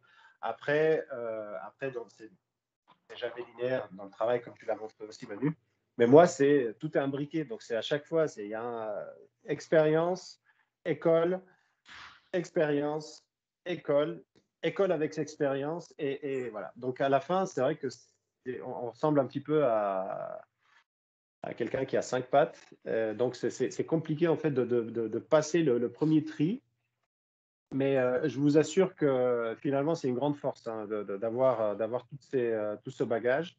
Parce qu'une fois que vous êtes dans le, dans, dans, dans le, dans le jus, dans, le feu de l'action, tout ça, tout, tout, ce que donc le IHA, le, la vente, le marketing, le management, etc., rentre rentre euh, en ligne de compte par rapport aux solutions que vous pouvez apporter. Et vous êtes, euh, je, suis en train de m'envoyer des fleurs, c'est des, instants interflora, mais vous êtes brillant parce que vous êtes, vous êtes créatif, d'accord? Euh, y avait, il y avait ce, grand monsieur qui est décédé, Sir Ken Robinson, qui disait que la créativité, c'est un point de vue pluridisciplinaire sur un problème donné. Et donc, moi, à chaque fois que je regardais un problème, c'était euh, tous ces yeux-là. C'était le marketeur, le, vendeur, l'acheteur, le manager, le, recruteur, le chef de projet, etc. Donc, j'avais énormément de, de, input pour arriver à quelque chose qui finalement sortait des sentiers battus. Et donc, c'est vrai qu'à la fin, oui, on, arrive à, être cette personne qui devient en fait force de proposition. Vous entendez souvent ça, dans le, il faut être force de proposition. Encore, faut avoir la capacité de force de proposition. Et euh, je pense que toutes ces expériences, pour moi, ont été, euh, elles sont aujourd'hui euh, très, très positives. Oui, alors effectivement, hein, c'est vrai que multiplier les, les, cordes à son arc, je pense que c'est tout à fait vertueux et ça se retrouve dans ton profil Marlène effectivement, dans celui de Manu et justement euh, comme on l'a dit, hein, que ce soit euh, pour ton recrutement à l'ONAC euh, grâce à tes, différentes compétences en communication scientifique, en, enseignement, ton expertise, mais aussi là au, au, cabinet du maire où là on t'a expliqué qu'en fait les profils atypiques étaient recherchés aussi. Et même si peut-être, tu, tu me le disais pendant la préparation, tu es un peu un ovni par rapport euh, à ton environnement de travail, et ça, on va peut-être en, parler justement, euh, il y, a, quand même cette notion de, vertu et de, euh, de, profil un peu puzzle qui peut être tout à fait intéressante à valoriser. Donc n'hésitez pas, vous, de votre côté, à vous sans évidemment mettre en danger votre expérience doctorale, mais euh, à vous tester, à oser faire d'autres choses que votre, votre simple recherche pour pouvoir justement euh, vous valoriser et peut-être faire la différence ensuite sur le marché de l'emploi. C'est vraiment important aussi de se dire euh, que vous n'êtes pas que dans cette expérience-là et que cette expérience-là, elle peut regrouper tout un tas d'autres compétences que celles de, de la recherche pure. Quoi. Et eh bien justement, alors je dois partir. Au revoir Raphaël, merci. C'était vraiment instructif, dit-il. Euh, ben, on va continuer justement avec Manu, puisque euh, Marlène, tu nous as un peu voilà, parlé de, tes missions. Manu, euh, alors moi, quand on a préparé l'émission, collaborateur au cabinet du maire, ça me fait un peu rêver, mais je ne sais pas du tout à quoi ça correspond. Donc, est-ce que tu pourrais nous recadrer un petit peu ben, déjà comment ça fonctionne, l'administration? Il y, a beaucoup de, nos doctorants et participants qui, qui sont étrangers aussi, qui connaissent peut-être pas forcément bien comment ça fonctionne l'administration française. Est-ce qu'après avoir dit en quelques mots euh, bah, voilà, comment ça fonctionne peut-être euh, euh, la mairie, à quoi correspond le cabinet du maire et toi, qu'est-ce que tu y as fait en éclairant spécifiquement? Alors, c'est ce qu'on a dit un petit peu au début. Toi, tu as eu plusieurs. tu as, as, cinq ans d'expérience au cabinet du maire de Dijon. Là, tu vas éclairer une, une, un poste particulier qui est celui de collaborateur politique du maire. Donc voilà, est-ce que tu peux nous, nous, en dire un peu plus sur les missions, l'environnement de travail, etc. Au-delà du pouvoir euh, centralisé gouvernemental qui dirige le pays, qui est élu, on a euh, des collectivités en France qui ont aussi euh, des compétences et qui sont en charge de responsabilités qui va concerner la vie quotidienne des gens. Il y a les régions, il y a les départements, et il y a donc aussi des métropoles et des villes. Donc moi, je vais me centrer quand même plus sur la ville de Dijon, Et à la ville de Dijon, si je dois la résumer un petit peu improprement, vous avez évidemment le maire et tous les élus qui sont élus sur sa liste par les électeurs. Donc ce sont ses adjoints, ses conseillers. Euh, on parle de conseillers municipaux qui siègent au conseil municipal. Ça, ce sont les élus. Ensuite, vous avez tous les services. Les agents des services, ce sont des gens qui sont recrutés. Hein. ce sont les policiers municipaux, les agents des espaces verts, ceux qui s'occupent de la cantine euh, scolaire ou même le périscolaire. Vous, avez vraiment le, le, service foncier, vous avez des dizaines de services et plusieurs pôles. Ce sont des milliers d'agents qui œuvrent au quotidien pour les Dijonnaises et les Dijonnais. Et entre ces deux pôles, les élus, les services, il y a ce qu'on appelle le cabinet. Le cabinet, c'est une petite équipe resserrée autour du maire et des élus qui font le lien aussi avec les services et qui sont un peu, alors, collaborer, parce que c'est collaborateurs, collaborer, ça veut dire travailler avec, tout simplement. Et donc, on travaille avec le maire, avec les élus, pour le bien des Dijonnaises et des Dijonnais, euh, pour améliorer aussi le quotidien, mais on va le conseiller. Alors, dire que en tant que, quand j'ai été collaborateur politique, moi je le suis, j'ai un autre poste maintenant, mais je voulais centraliser plus le sujet là-dessus. Euh, on conseille le maire. Le maire, il est suffisamment euh, brillant et intelligent pour tout comprendre. Par contre, il n'a pas, pas le don d'ubiquité. Donc, il ne peut pas être euh, partout à la fois. Donc, quand il a besoin d'être représenté quelque part officiellement, ce sont des élus qui le représentent. Quand on va dans des réunions, ça peut être des élus, mais c'est aussi des collaborateurs politiques qui viennent prendre sa place ou bien euh, bah, voilà, pour faire le lien avec les services, prendre des décisions et ensuite faire des notes et les ramener, ces notes au maire en disant qu'est-ce que vous en pensez, vous? Et on peut donner son avis. En disant moi je suis pas très motivé à l'idée de faire ce que proposent les services. Ou, euh, on peut recevoir aussi le public en lieu et place du maire, parce que le maire n'est pas disponible, il a un agenda extrêmement contraint et chargé.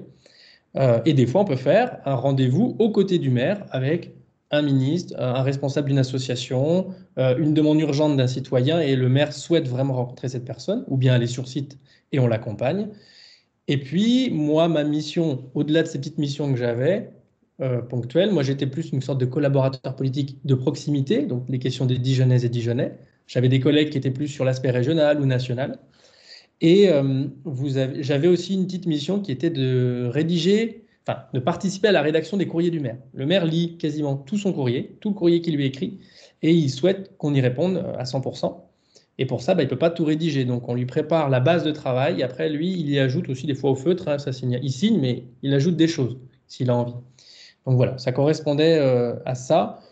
Ça recoupe un peu ce, que, ce dont parlait Marlène tout à l'heure. Moi, je trouve que le travail de collaborateur politique, pour donner, c'est un peu le travail d'un homme orchestre. Et pour ça, la thèse, le doctorat, ça m'a été très utile. Je pense que c'est ce qu'avaient en tête d'ailleurs euh, les personnes qui m'ont recruté. Euh, je dirais qu'il y a l'écriture déjà, évidemment, euh, mais j'irai au-delà parce que je pense qu'il y a l'esprit de synthèse, l'autonomie, la rigueur personnelle. Ça, pour tous les doctorants, je pense que la rigueur personnelle, s'astreindre à certaines choses seul, je pense que c'est une des, valeur cardinale hein, que nous impulse le doctorat. Euh, l'organisation, l'esprit de synthèse, l'esprit critique, qui était un petit peu plus propre à l'histoire quand même, mais un esprit critique aussi qu'on développe énormément dans notre travail dans le cadre du doctorat. Euh, la hiérarchisation des informations aussi, quand on est dans le cadre de son doctorat face à une montagne de documentation, d'informations, de savoir où aller. Tout ça, c'est des petites compétences en fait qu'on n'a pas en tête euh, quand on le fait, notre doctorat, mais qui en fait, on est en train de les exacerber. Donc euh, moi, je les ai exacerbés dans mon doctorat. Bon, par contre, je les ai vraiment euh, achevés euh, au cabinet du maire parce que l'exigence, elle est à un, certain niveau quand même. Est-ce que je l'ai entendu Tu m'as parlé de la rédaction aussi? Est-ce que tu l'as dit? Oui, oui, oui, que je rédige. Ah oui, tu l'as dit. Hmm. Excuse-moi. Parce qu'effectivement, dans. Forcément. Pour quelqu'un qui. Des personnes telles que, voilà, vous tous qui suivez, allez devoir rédiger un, une thèse, enfin un doctorat, un mémoire de doctoral, appelez-le comme vous voulez. C'est, je ne sais pas, pour certains, ce sera peut-être de 200, 300 pages. Moi, en l'occurrence, c'était 1000, donc un peu trop. Mais, euh, mais voilà, c'est un apprentissage. C'est-à-dire qu'en fait, euh, aujourd'hui, je sais que c'est la thèse m'a amené beaucoup de choses, énormément de choses, voire quasiment toutes les composantes de ma carrière professionnelle. Mais à l'époque, je l'ignorais. C'est-à-dire que j'ai jamais eu ça en tête en me disant ça, ça m'amène, ça, ça m'amène, ça, ça m'amène. Je me suis jamais dit ça. C'est aujourd'hui, rétrospectivement. Euh, on a une petite question, peut-être euh, ça vaudrait le coup de la poser maintenant. N'est-ce pas un peu frustrant d'avoir obtenu un doctorat Bac plus 8, d'être devenu un spécialiste dans un domaine bien précis et au final d'être recruté certes dans un poste prestigieux, mais qui au final n'est pas directement lié avec tes longues années d'études? Est-ce que la recherche ne te manque-t-elle pas? Est-ce que tu suis l'actualité historiographique en lien avec tes, recherches? Euh, Quand j'étais prof de lycée, je disais excellente question. mais c'est vrai, très bonne question. Euh, oui, frustré quand même, parce qu'à un moment donné, j'ai eu l'ambition de la publier, ma thèse, après la soutenance. Mais à l'époque, voilà, j'avais une vie de famille, j'avais mon travail qui à l'époque était à l'ONAC. Euh, donc j'ai commencé à la re-rédiger pour l'alléger, parce qu'il y avait 1000 pages quand même, il fallait descendre plutôt à 300. Et là, c'était des réveils quand même tôt le matin, 6 euh, heures, ensuite d'aller au travail, re-rédiger le soir. Et en fait, bon, faut trouver l'éditeur, j'ai un petit peu baissé les bras et c'est là où en plus je bascule au cabinet du maire, donc j'ai complètement laissé de côté. Euh, comme je l'ai dit tout à l'heure, c'est vraiment la meilleure période professionnelle pour moi, mon doctorat. Donc oui, si on me disait aujourd'hui tu vas être enseignant-chercheur à l'université en histoire contemporaine, je serais aux anges, clairement, très clairement. Et après, les choix, de, les choix professionnels dépendent aussi euh, beaucoup de la vie personnelle. Et, en l'occurrence, toi, de ton côté, ça s'est aussi passé de cette façon-là et c'est très imbriqué. Euh, on peut avoir des ambitions professionnelles qui ne sont pas en adéquation avec euh, ses ambitions personnelles et il faut trouver un équilibre. Manu, on en discutait justement, il y a, eu un moment où, d'une certaine manière, tu as fait, entre guillemets, le deuil de, cette, de faire de l'histoire ton métier. Euh, mais bon, qui sait, peut-être que tu reviendras aussi euh, à, l'histoire dans, ta carrière professionnelle qui n'est pas terminée. Euh, la question que je voulais te poser, de revenir sur ton poste de collaborateur au cabinet du maire, par rapport à ton environnement de travail. Comment t'es perçu toi aussi en tant que docteur enfin, Parce que mmh. concrètement, si j'ai bien compris, au cabinet du maire, tu es le seul docteur, les autres sont, ont, fait des, des écoles politiques, etc., enfin, sont très politisés. Oui, Juste, je me permets de répondre, c'est Jérôme, je crois, qui a posé. Euh, oui, je continue de suivre l'actualité historiographique sur mon sujet et sur la période de la Seconde Guerre mondiale euh, notamment. Parce que par passion aussi. Hein. Euh, voilà. donc oui, bah, des fois j'utilise ce terme-là en disant que je suis un peu un ovni au sein du cabinet du maire, dans le sens où j'ai pas ma carte au Parti socialiste, puisqu'en l'occurrence le maire est au Parti socialiste, ce qui est quand même important, mais pas rédhibitoire. La preuve, hein, j'en suis la preuve. C'est pas une condition d'engagement, mais ça peut aider. Euh, et après, oui, je suis docteur, et ça, c'est vrai que c'est assez inédit, mais tous les collaborateurs n'ont pas des profils euh, prédestinés à devenir collaborateurs. Il y a des écoles spéciales, spéciales et conçues pour ça, mais je pense qu'il y a aussi une question de loyauté euh, et de feeling aussi, de conviction. voilà, moi, je, suis quelqu'un de gauche par éducation, par mes parents. Ça, je sais aussi qu'il le savait, le maire, en m'engageant, mais c'est voilà, quand on est euh, collaborateur au cabinet du maire, on est, euh, on est avant tout un conseiller, mais on est aussi loyal envers euh, le maire qui nous a engagés, qui nous fait une confiance. Je ne vais pas dire aveugle, mais qui nous fait vraiment confiance. Moi, c'était le maire de mon enfance, François Repsamen. Hein. J'ai grandi en tant qu'ado et jeune homme, c'était le maire de ma ville, j'habitais Dijon. ensuite, c'est aussi un, je peux le dire, un super patron, dans le sens, c'est vraiment un plaisir de travailler pour un chef au sens contractuel du terme, qui est comme ça avec ses équipes. Et puis l'homme en lui-même, au-delà même du maire, hein, l'homme derrière la fonction est vraiment quelqu'un que j'apprécie en le découvrant au quotidien. Euh, et ça, c'est important aussi dans le cadre de son travail d'être bien en adéquation avec euh, ceux pour qui on travaille. Moi, ce qui me plaît énormément dans mon travail, mon orchestre un peu, euh, c'est d'être au, service public. C'est le service public. C'est-à-dire que là, vraiment, autant l'enseignement me manque, la recherche aussi, autant être au service du public, des gens, ça, c'est quelque chose qui me passionne énormément. Donc, je me définis moins comme un collaborateur de politique politicienne que collaborateur de politique service public. Voilà. Carrément. Et, euh, et euh, ce que tu dis sur euh, le fait de se sentir en adéquation avec bah, le boss, pour qui tu écris en plus, puisque là, en l'occurrence, c'est vrai qu'il faut, faut, se mettre dans la peau de la personne pour pouvoir répondre en son nom. Euh, je pense qu'effectivement, c'était une condition sine qua non euh, pour occuper ces missions-là. Et sans doute aussi que ce recrutement un peu presque, des fois, on a l'impression au feeling, euh, il s'explique aussi par ce biais-là, enfin par cette, voie-là, ce facteur-là où il faut ressentir les choses et que, l'un et l'autre, que, les, personnes qui, qui vont travailler ensemble aient ce feeling-là ensemble, qui n'est peut-être pas forcément la condition de base de tout travail finalement. On peut des fois travailler avec des gens avec qui on s'entend pas forcément, restons professionnels. Peut-être que dans le cadre de, ces missions euh, au cabinet du maire, il y a cette dimension un peu euh, presque interindividuelle qui, euh, qui est importante. quoi.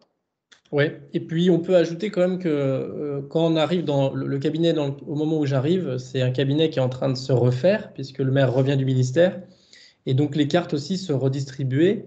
Et donc petit à petit, c'est chaque nouvelle personne amène aussi son expérience. Et au début, j'étais pas sur les courriers, par exemple, parce que les on faisait tous un peu des courriers, mais petit à petit, entre collègues et avec la direction, on se rend compte que peut-être c'est peut-être plus à moi de les faire parce que ça m'intéresse plus, parce que j'ai peut-être plus de compétences. J'exagère un peu parce que d'autres collègues écrivent très bien, mais euh, je pense qu'il y a des rôles qui se font aussi en fonction des diplômes qu'on peut avoir, de l'expérience qu'on peut avoir. Donc paradoxalement, voilà, ça, a dû jouer aussi, je pense, euh, sur euh, bah, le jeu des chaises musicales au sein d'une équipe. Je, développe au-delà d'un simple cabinet. Au sein d'une équipe dans le monde du travail, euh, il est possible que là, les doctorants, plus tard, qui suivent dans la voie académique ou professionnelle, mais extérieure à l'université, peut-être qu'on leur dira, oui, mais par rapport à votre doctorat, moi, je vous sens plus sur ce poste-là. Mais que ça n'aura pas été vu à l'entretien. Mm-hmm. Ce sera au quotidien après. Et alors, tu as parlé de ce que tu aimes dans, euh, dans ce poste. Est-ce qu'il y a des choses qui, euh, voilà, qui semblent moins, euh, moins, moins sexy, moins sympa Non, il y a un rythme de vie, mais c'était le poste que j'occupais il y a maintenant deux ans et demi. il y a un rythme de vie et un, le, travail dans l'urgence, dans l'absolue urgence. C'est vraiment la base, on peut rien planifier. Ça, c'est vite pour moi, par rapport à mon tempérament, c'était ce qui m'a le plus pas épuisé, mais euh, voilà, c'est une chose qui m'a moins plu. Mais j'ai eu la chance aussi d'avoir une, non seulement une directrice de cabinet, mais surtout le maire très compréhensif à partir du moment où j'étais jeune papa. Où vraiment verbalement, ils m'ont dit qu'il y aurait aussi euh, tout serait adapté en fonction. Mmh, donc oui, c'est vrai ce que tu m'expliquais, c'est que tu avais des journées très intenses et euh, toujours dans l'urgence sous pression, mais que l'amplitude horaire te permettait aussi d'avoir une grande bienveillance vis-à-vis de ta vie personnelle et que ça n'empiétait pas dessus. Voilà, parce que j'étais aussi jeune papa. Hein. Marlène, est-ce que toi, tu souhaiterais euh, nous dire un peu aussi dans ton poste actuel à l'ONUDI ce que, tu aimes dans les activités que tu, euh, que tu as, ce que tu aimes moins, en fait, euh, pour pouvoir éclairer nos participants? Alors, en fait, là encore, on est sur une position qui est un peu en orchestre parce que on est dans la gestion de projet. Donc, non seulement la gestion, mais il faut écrire les projets. Donc, on écrit les projets de A à Z. On fait la levée des fonds. Donc, on va aller euh, voir avec les bailleurs. Donc, il y a une analyse des priorités pays par rapport aux bailleurs, par rapport aux, besoins pays. Euh, donc, ça, c'est une grosse partie du travail. L'autre partie, c'est d'écrire des, euh, notes techniques ou carrément des, notes de recherche, qu'elles soient issues des projets ou qu'elles soient issues de notre recherche à nous. Euh, donc ça, c'est ce qu'on appelle euh, des publications techniques sur des sujets euh, particuliers. J'en avais fait un, une en 2014, je dois en faire une là bientôt, sur les industries créatives et l'écosystème créatif. Bon, voilà. il y a une autre partie qui est un petit peu, on est, on est souvent, lorsque le directeur général se déplace dans un pays, on est souvent entre guillemets, réquisitionné pour écrire des notes techniques par rapport à des projets, par rapport à des sujets. Parce qu'on a, pour certains, par exemple, moi en Côte d'Ivoire, j'avais un, très gros projet de presque 28 millions et demi d'euros euh, sur la formation professionnelle. Et donc, euh, par la force des choses, j'étais euh, très en contact avec des ministres, des, des DIRCAB, etc. Donc, voilà, on est sollicité, par exemple, pour, pour écrire des notes techniques pour le DG. Donc, on a cette, cette fonction un peu que que Manu a, euh, mais de manière euh, sporadique. Euh, donc, si, comme moi, donc moi, j'ai pas mal de pays sous, sous ma tutelle, entre guillemets, avec mes projets, mais donc si, le DG décide d'aller d'un pays à un autre où je, je travaille, je, suis marrant pour faire des notes techniques. Donc, en, plus, en, plus des, en plus de la gestion quotidienne, en plus des pipelines de projets qu'on doit gérer, en plus des, des, conférences parfois qu'on doit, doit organiser, les réunions, les, les, réunions de coordination. Donc c'est vrai qu'on passe des journées assez, assez chargées. et, donc pour moi, pour moi c'est vrai que cette flexibilité, cette gymnastique intellectuelle, euh, voilà, euh, c'est vraiment le doctorat, hein, euh, où, vous avez une quantité énorme d'informations. Ça, peut partir dans tous les sens. Vous êtes tout le temps en charrette, vous êtes à la bourre pour finir un truc, et vous arrivez toujours en fait à vous en sortir. Finalement, c'est un petit peu le message que je veux passer à tous les doctorants, c'est que faut, faut pas vous inquiéter. plus vous planifiez, moins vous allez avoir le temps, et plus vous allez vous rendre compte que la vie en fait c'est lastminute.com euh, et donc, c'est pour ça que ce, doctorat, au final, même si, vous pensez qu'il ne vous servira pas à, autre chose que, par exemple, enseigner ou avoir un métier, au moins, il vous apprendra à synthétiser des quantités énormes d'informations en quelque chose de très, euh, très petit. Parce que, pour la petite histoire, il y, avait, euh, je, me souviens, il y avait une lettre de Churchill à sa femme qui commençait comme ça. C'est Ma chère épouse, je t'écris une longue lettre parce que je n'ai pas le temps de t'en écrire une courte. Pour un petit peu euh, dire que voilà, dès qu'on veut synthétiser, il faut énormément de temps. Il faut, euh, voilà. Et donc, du coup, en fait, ce, temps, c'est le temps du doctorat qui vous le. enfin, en fait, c'est un temps que vous, entre guillemets, vous perdez pendant votre recherche, etc., à, trouver, à trouver le schmilblick. Euh, finalement, que, c'est un temps au final qui, va être un temps raccourci pour vous lorsque vous aurez des, délais, des deadlines euh, très très courtes, des, urgences. Malheureusement, il y en a beaucoup parce qu'encore une fois, euh, vous apprenez à gérer, à planifier. Par exemple, nous, on travaille sur les, les cadres logiques donc tout ce qui est euh, chaîne, euh, chaîne, euh, chaîne de résultats, etc., donc avec des timelines, etc., finalement, vous vous rendez compte que même dans l'univers des Nations Unies, vous avez des gens qui ne sont absolument pas organisés, donc qui, vous envoient des, notes à faire pour le lendemain, alors que vous avez du travail par-dessus la tête. Donc, donc au final, voilà, s'il y a un petit message à, à, faire passer à tous les doctorants, c'est que euh, voilà, toute cette quantité énorme d'informations que vous êtes en train de distiller aujourd'hui en, votre thèse, bah, ça va être du temps de, gagner plus tard sur des problématiques aussi diverses et variées que vous aurez à rencontrer dans le monde du travail. Euh, donc c'est cette gymnastique, en fait, vous êtes en train de, vous êtes en train de faire des développés couchés en fait sur votre cerveau euh, à longueur de journée qui vont être euh, qui vont finalement en fait payer euh, sur le long terme. Oui, bah alors pensez-y hein, tous les participants, pensez-y quand vous serez en mode panique sur panique à bord sur votre sur votre thèse. votre rédaction, les manips, etc. Pensez au développé couché de votre cerveau. Euh, pour plus tard. On va passer à la phase de questions. Merci Marlène et Manu. Euh, on a eu deux petites questions qui se sont posées.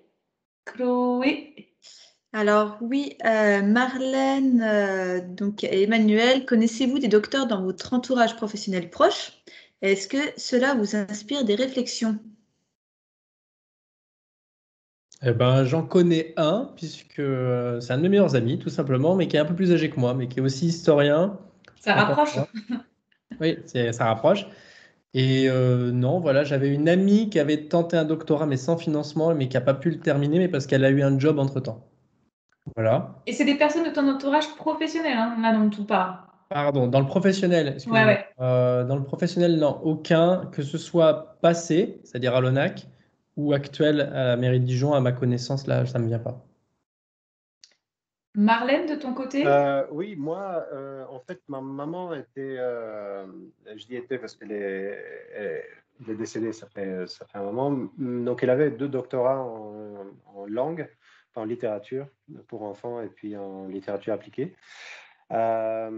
Et, mon grand-père était docteur, mais en médecine. Donc, j'ai essayé, donc une fois que j'ai eu le doctorat, de, quand il y a eu euh, une alerte euh, dans un avion de dire voilà, il y a un docteur, mais ça n'a pas marché. Euh, donc, blague à part, non, en fait, en fait ce qui m'a aussi inspiré, pour tout vous dire, le Master 2 que j'ai fait, donc, donc, où Karine Brisset était la, directrice du Master, il n'y avait que, enfin, que, il y avait pour la plupart, c'était des, jeunes profs, tous des docteurs, que ce soit en éco, que ce soit en intelligence artificielle, donc les Emmanuel Loreno, les Christophe Lang, Karine Brisset, donc qui était notre, enfin donc qui était un peu enceinte à l'époque, qui était il y avait Pierre-Henri Morand aussi, donc il y avait, il y avait en fait que des, que des docteurs en fait qui nous enseignaient J'en mentionne que, je, mentionne que parce que j'ai eu beaucoup d'affection pour, euh, pour ces, ces, quatre profs, on va dire, qui m'ont qui un peu marqué et finalement qui ont euh, voilà qui, qui m'ont donné un petit peu euh, aussi cette envie donc voilà d'avoir cette voilà finalement un docteur c'est quelqu'un aussi de très simple c'est finalement quelqu'un qui arrive à, absorber tellement tellement de choses que ben voilà, c'est un peu la force tranquille. Il n'y a pas besoin de, show-off, il n'y a pas besoin de se la raconter. Euh, ils savent leur truc, ils, sont, sont, sur le, voilà, sur le, justement cette information distillée, donc euh, où ils ont passé énormément de temps avant eux à réfléchir, etc. Ils vous donnent à vous cette euh, information vulgarisée finalement, facile à comprendre, facile à apprendre, et, c'est là là que pour moi réside vraiment euh, la, grande capacité professionnelle d'un docteur, c'est la capacité à vraiment euh, euh, rendre tout son savoir accessible à n'importe qui. Donc là, en réponse à François-Claude, toi finalement, les docteurs, c'est au moment de, ton master que tu as vraiment ressenti aussi ces profils et que tu t'es dit que voilà, il y, avait, y avait un, euh, une vraie particularité de ces profils et ça t'a donné envie bah, aussi en fait, c'était, euh, comment dire, bah, oui, je pense que Karine n'a pas beaucoup changé au niveau énergétique euh, et au niveau énergie. Toujours, non, je confirme. Une, Très enthousiaste. À très fort potentiel énergétique. Non, mais voilà, mais, c'était cette simplicité en fait. C'est, ce que, un petit peu, vous savez, quand vous avez des maîtres d'arts martiaux, ils sont arrivés à un tel niveau de, dans leur, dans leur art leur science que bah, n'ont pas besoin de voilà d'être en démonstration. Donc euh, ils sont quand ils doivent montrer quelque chose, ils le montrent de façon à ce que, que ça soit accessible. C'est pour moi, c'est mon quotidien finalement. Hein. C'est de rendre accessible ce qui ne l'est pas tout le temps. Que ce soit le savoir, que ce soit les, les opportunités, que ce soit euh, tout simplement la dignité humaine. Donc, rendre accessible. Bah, écoutez, nous, on espère qu'on a rendu accessible vos postes euh, à l'ensemble de nos participants. Le temps file. Malheureusement, on va devoir bientôt euh, fermer euh, un peu ces interviews. Mais avant ça, je vais vous demander quelque chose.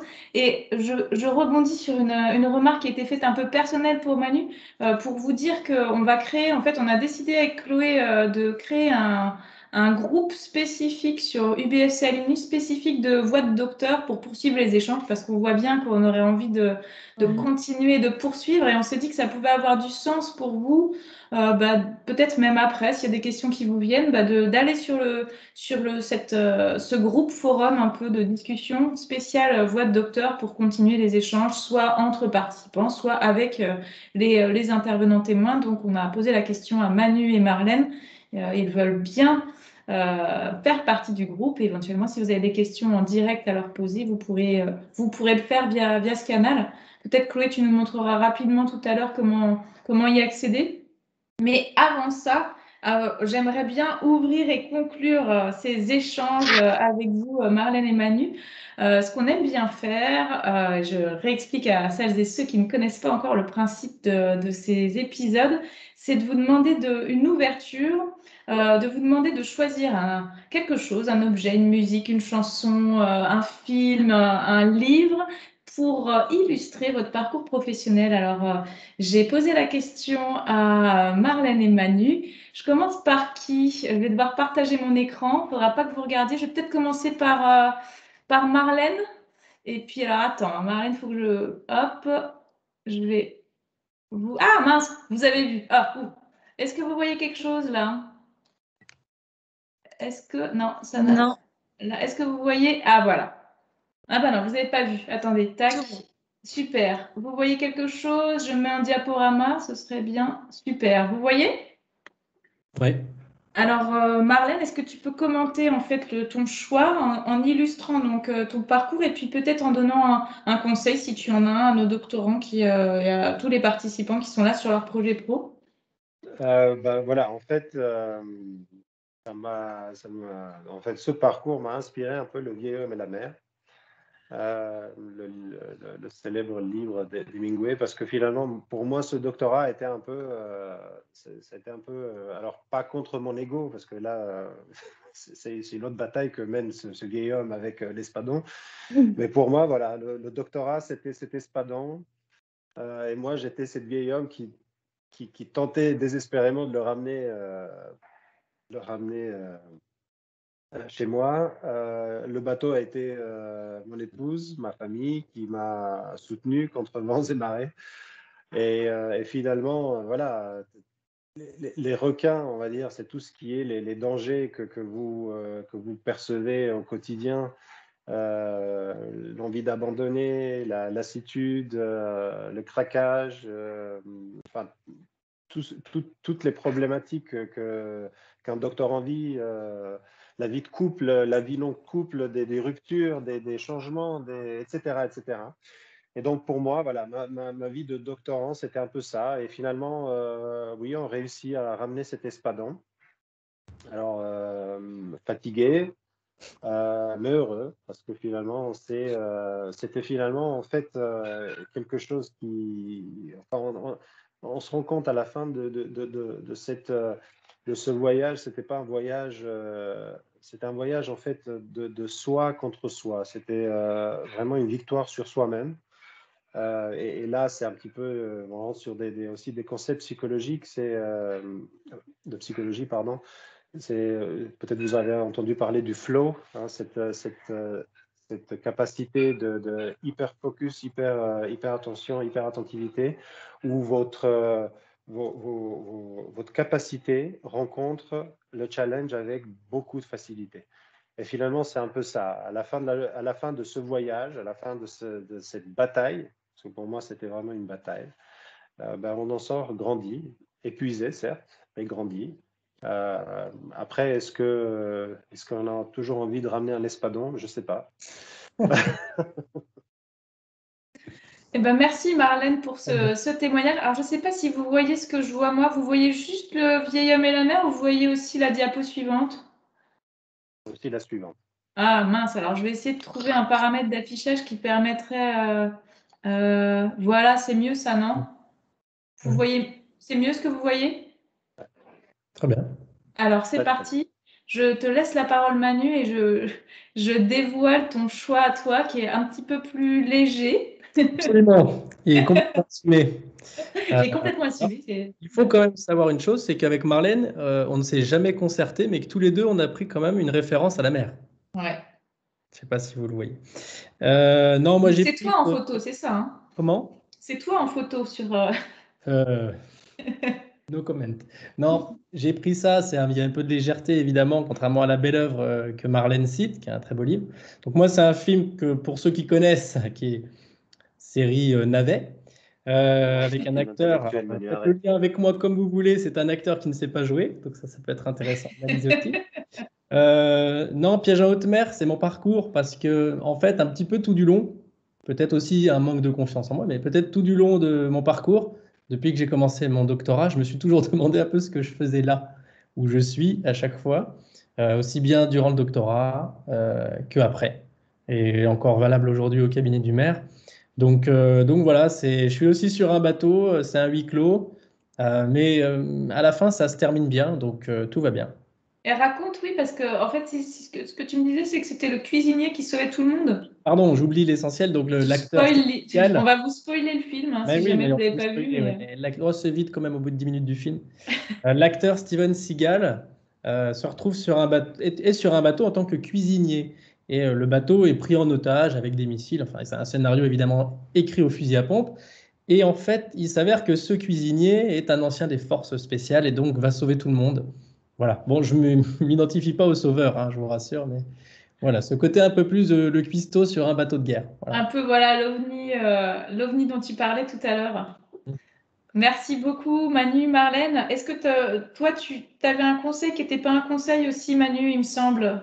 Ah oui, on devait proposer un conseil aux doctorantes et doctorants. Alors moi, j'ai pris une citation de Mike Tyson. Il faut que je la lise, j'ai noté ah. Voilà. Tout le, monde, tout le monde a un plan jusqu'à ce qu'il soit frappé au visage. Et euh, je pense que ça témoigne bien de ce que c'est aussi un doctorat.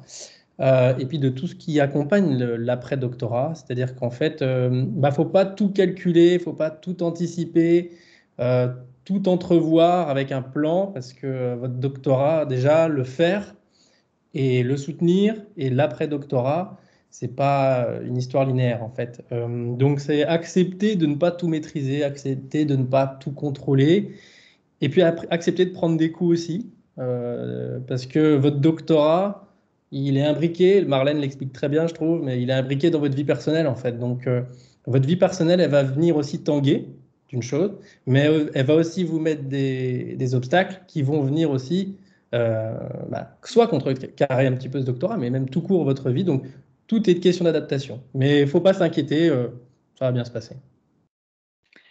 Un grand merci à vous deux pour vos témoignages aussi authentiques et sincères. C'est toujours un plaisir d'interviewer euh, des docteurs euh, comme vous. On espère que les prochains seront aussi bons. Euh, merci à vous. Bah, vous êtes encore avec nous du coup sur le groupe Voix de Docteur et vous participants restez avec nous aussi parce que là je vais bientôt et tout de suite maintenant laisser la, la voix à Marlène, une autre cette fois, Marlène Rollet, qui est consultante relations entreprises à l'APEC Bourgogne-Franche-Comté. Et on avait envie, voilà, comme je disais au, début de, de, cette action, euh, de vous proposer euh, une courte intervention pour, euh, bah, pour vous ouvrir un peu aussi l'esprit sur tout ce qui existe comme outils et comme offre de services à disposition, à votre disposition, au, service de votre projet de carrière. Donc, Marlène, bonjour et je te laisse la parole pour, pour faire ta présentation. N'hésite pas à me dire si tu n'as pas la main sur le partage d'écran. C'est bon, j'ai tout. Merci Candice. Donc, bonjour à tous. Bah, déjà, j'ai beaucoup apprécié les deux témoignages précédents et j'ai pu noter plein d'arguments pour les entreprises que j'accompagne en faveur justement des profils docteurs, parce que c'est des profils qui sont aujourd'hui euh, encore un petit peu euh, euh, en marge finalement des, des, ciblages des entreprises, puisque méconnus finalement. Donc, c'est vraiment l'objectif bah, déjà de ce que vous faites, je pense, hein, Candice et, et, Chloé, de mettre en relation les, les, docteurs, les doctorants et les entreprises pour que euh, bah, chacun apprenne à se connaître. Et puis, euh, puis c'est aussi ce que nous, on souhaite faire à l'APEC. En fait, on est un des partenaires qui permet cette mise en relation. Et ces derniers temps, on accentue nos actions en ce sens. Donc, c'est ce que je vais vous montrer là tout de suite. je vous partage juste quelque chose. voilà. C'est tout bon? Vous voyez mon écran? Tout à fait. Très bien. Voilà, donc euh, moi, je suis là finalement pour vous faire connaître l'APEC parce que euh, c'est euh, une organisation des consultants et des outils en fait qui sont à vos côtés, doctorants, docteurs, futurs ou déjà diplômés bientôt ou déjà sur le marché de l'emploi, dans la réflexion et la mise en œuvre de votre projet professionnel. Et donc l'APEC, hein, qui est historiquement connu pour euh, ses actions en faveur des cadres et jeunes diplômés. Euh, est donc une association qui est née dans les années 60 avec cet ADN de mettre en relation bah, les actifs et les entreprises. Et c'est l'ADN qui nous anime toujours aujourd'hui et donc à travers différentes missions. Je vous les présente très rapidement, mais l'objectif aujourd'hui, c'est vraiment de vous montrer toutes les ressources en fait à votre disposition bah, pour questionner et mettre en œuvre votre projet pro. Donc l'APEC, euh, bah, on accompagne les entreprises qui cotisent aussi du coup à l'APEC et donc c'est la mission que moi je représente. Hein. On les accompagne justement dans l'optimisation de leur recrutement. Euh, on accompagne, et ça c'est la mission la plus connue de l'APEC puisque c'est 80% de nos effectifs, donc les cadres et jeunes diplômés dans leur parcours professionnel, hein, avec notamment euh, le conseil en, évolution professionnelle, qui a un droit euh, gratuit, accessible à tous, mais je ne vais pas vous en parler tout de suite parce que c'est plus quand on est déjà dans sa carrière, on va dire. une troisième mission, donc en tant qu'observatoire de l'emploi du, enfin, pardon, du marché de l'emploi cadre, hein, on est le seul en France. Du coup, on apporte des études, hein, des analyses sur ben, tout ce qui gravite autour du marché de l'emploi cadre, les, pratiques de recrutement, les profils des cadres, les intentions des uns et des autres. Et puis enfin, on est aussi connu pour ça puisqu'on est un site qui diffuse des offres d'emploi cadre euh, et agents de maîtrise, et aussi qui met en relation à travers notre site justement euh, les candidats qui ont un profil sur notre CVTech et les entreprises qui ont du coup euh, un besoin en recrutement. Donc l'APEC, c'est aussi beaucoup de partenariats avec des différentes organisations, institutions, etc. Et donc côté doctorat, hein, on actionne beaucoup de, partenariats en ce moment. On est notamment partenaire de, de. Je ne sais pas si vous connaissez cette association qui propose euh, en fait des MOOC pour euh, faciliter l'insertion des docteurs sur le marché de l'emploi. Et donc, à travers cette convention de partenariat, l'idée, c'est vraiment de mutualiser hein, nos expertises mutuelles, nos données, nos ressources pour justement donner un maximum euh, d'infos, de clés et de bonnes pratiques aux docteurs qui souhaitent s'insérer sur le marché de l'emploi. L'APEC, c'est vrai qu'on est plus orienté privé, mais euh, voilà, ce qui est valable pour l'un l'est souvent aussi pour l'autre. Et aussi, on organise cette année, donc Candice, hein, j'ai vu que tu l'avais dans tes petits diapos, du coup je fais le spoil, euh, la semaine CAP PhD, euh, donc qui est, qui est pilotée par notre direction des partenariats et qui consiste en fait à mettre en relation des doctorants, des docteurs et des entreprises. L'idée, en fait, c'est vraiment de démystifier le profil docteur euh, pour euh, aussi euh, bah, montrer aux entreprises bah, toutes les ressources, hein, toutes les compétences qu'on peut trouver chez ces profils docteurs, comme les ont très bien décrites d'ailleurs Emmanuel et Marlène tout à l'heure, et qui peuvent être une vraie ressource de performance, de différenciation pour les entreprises.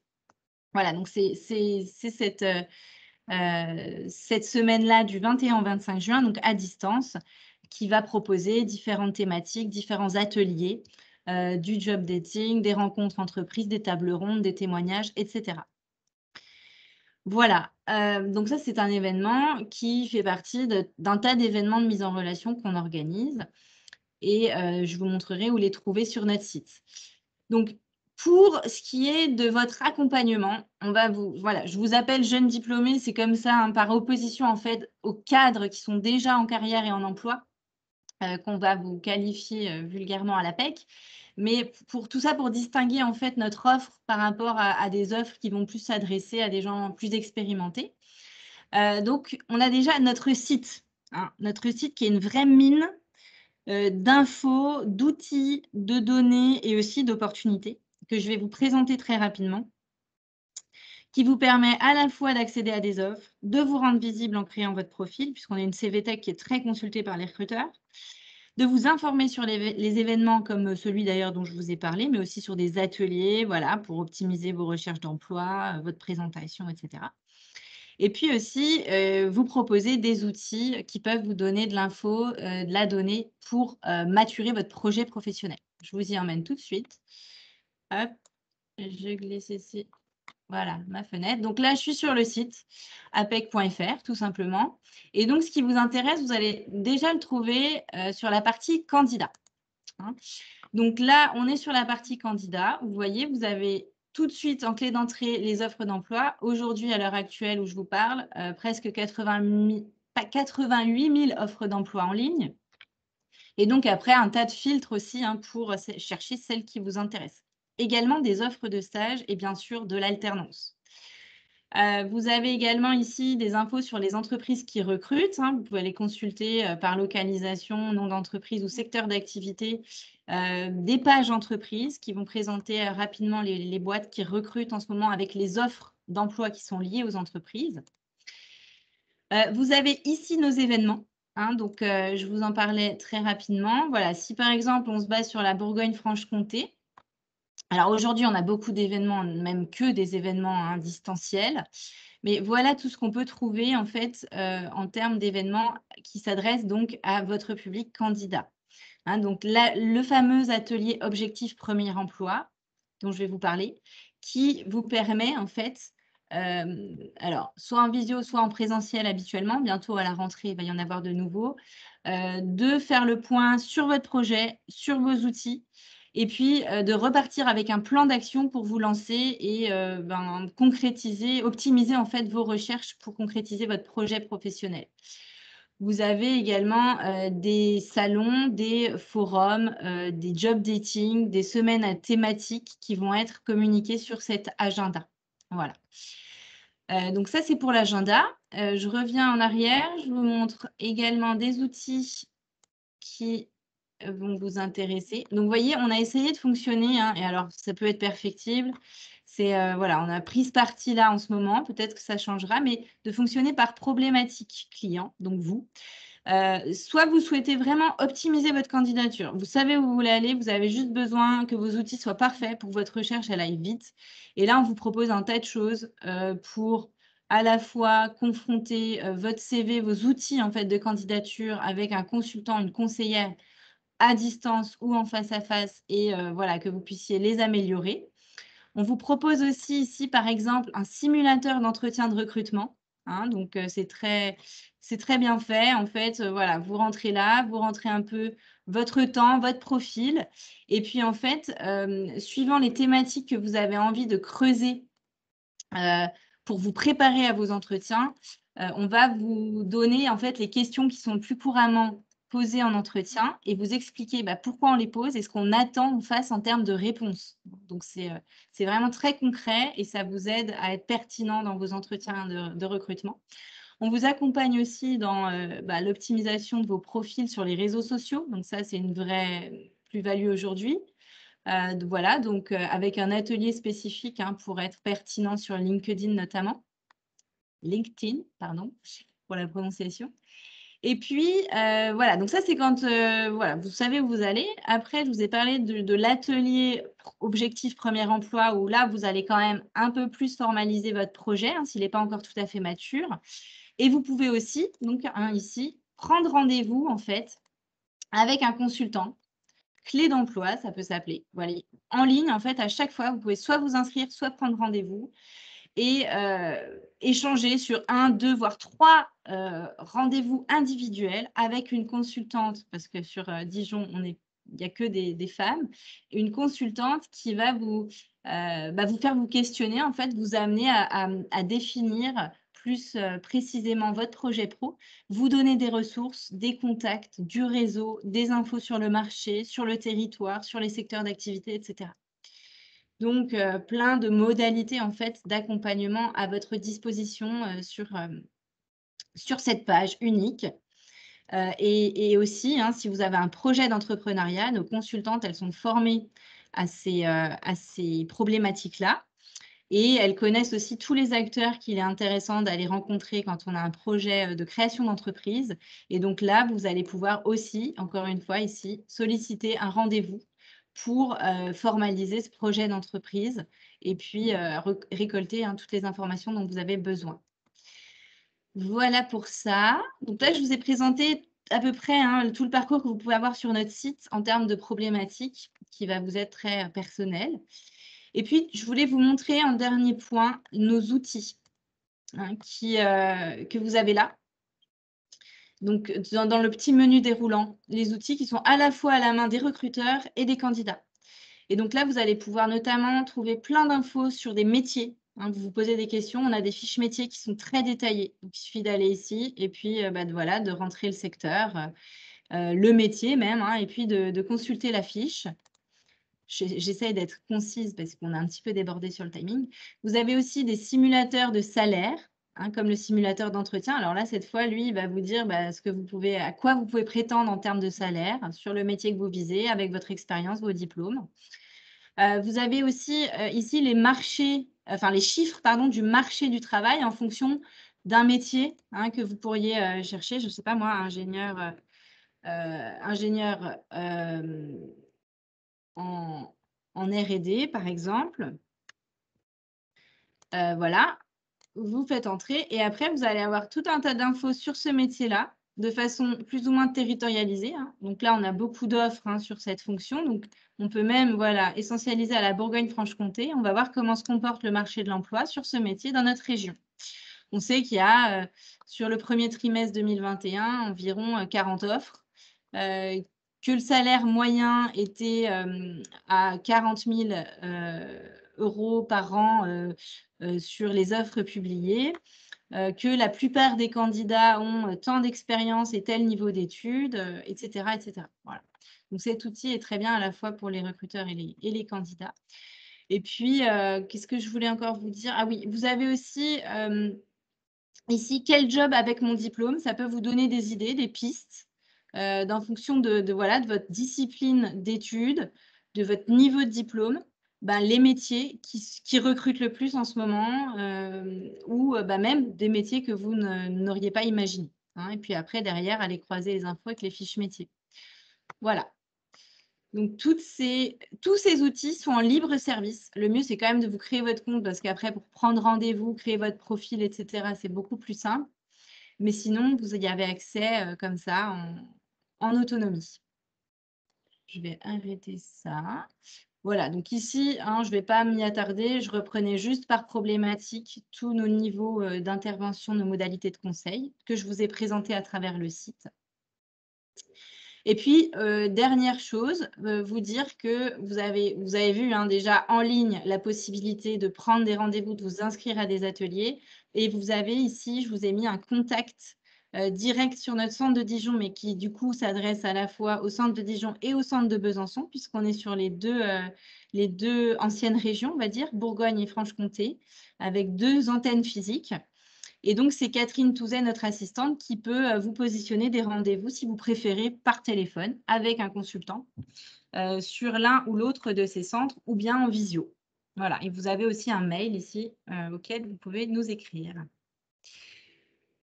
Je vais arrêter le partage et conclure, enfin laisser Candice conclure, puisque moi j'ai terminé. Ben, merci beaucoup Marlène, vraiment merci pour ta, oui, ta clarté, ta, euh, précision. Oui, il y a une petite question qui s'était posée concernant euh, euh, le simulateur d'entretien. C'est François Claude qui demande à quoi sert la différence femme-homme dans le simulateur d'entretien.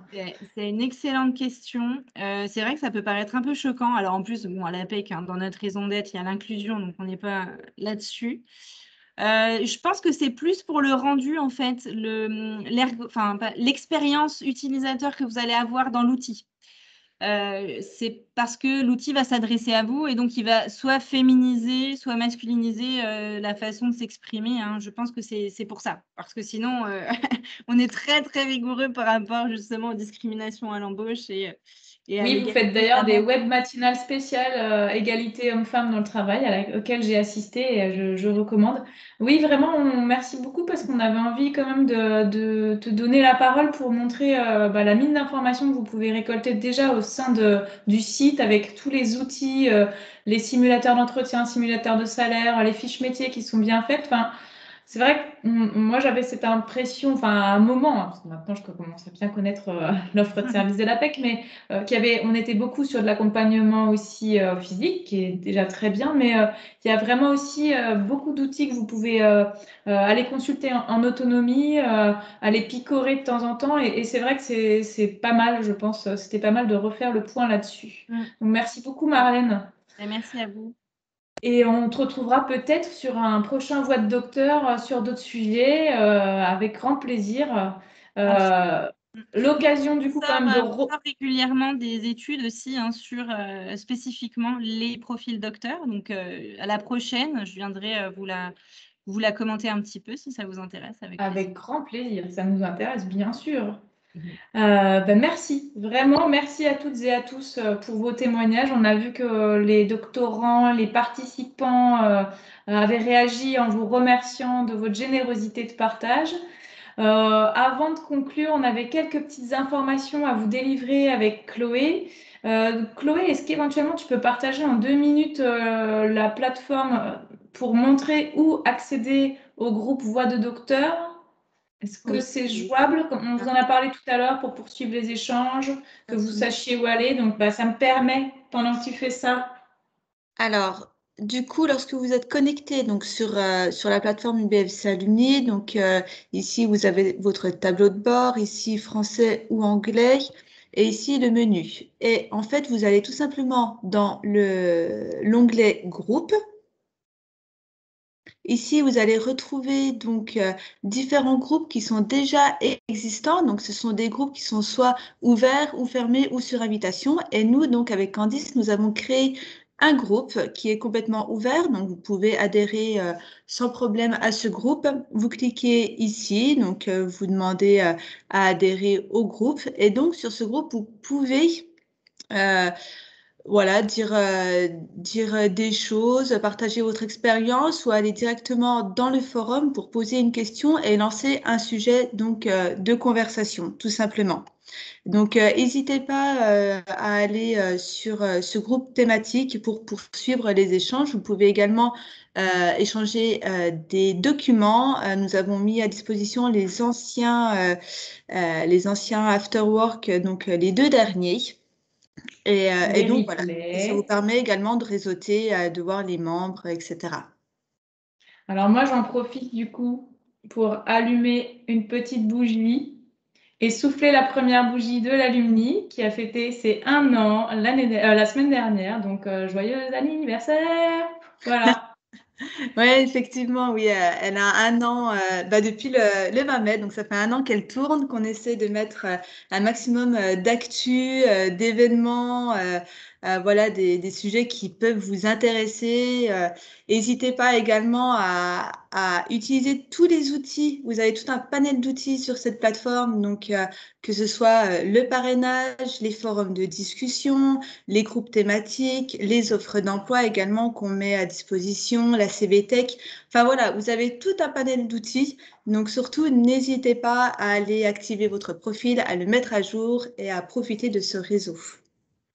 Merci Chloé. Alors encore des toutes petites événements. Alors donc, pardon, euh, juste par rapport aux doctorants UBFC qui se sont inscrits, une petite information concernant la validation. Vous avez annoncé que la participation aux événements carrière proposés dans le cadre du BFC Alumni de la mission doctorale euh, pourrait vous être comptabilisée dans vos heures de formation pour votre plan individuel de formation. Ça sera le cas. Cependant, afin d'éviter en fait que vous atteigniez le, fameux plafond des, sept formations par an, euh, en fait, ce qui va se passer, c'est que cette formation-là, enfin, cet événement, cette participation vous sera validée à la fin de l'année universitaire pour ne pas qu'elle soit comptabilisée euh, dans euh, le plafond maximal des formations que vous aurez à suivre. Ce qui vous permet de, bah, de suivre d'autres formations et tout en gardant votre fidélité à nos événements. J'espère que j'ai été assez claire. Donc, euh, ne paniquez pas si vous n'avez pas la validation euh, euh, de, vos heures de formation concernant cette action. À partir de maintenant, ça vous sera validé à la fin de l'année. C'était une petite info spéciale, un peu administrative, mais donc on vous donne pas rendez-vous le, le, mois prochain pour Voix de Docteur parce que comme Marlène l'a dit, il va y avoir cette fameuse grosse semaine 4 PhD.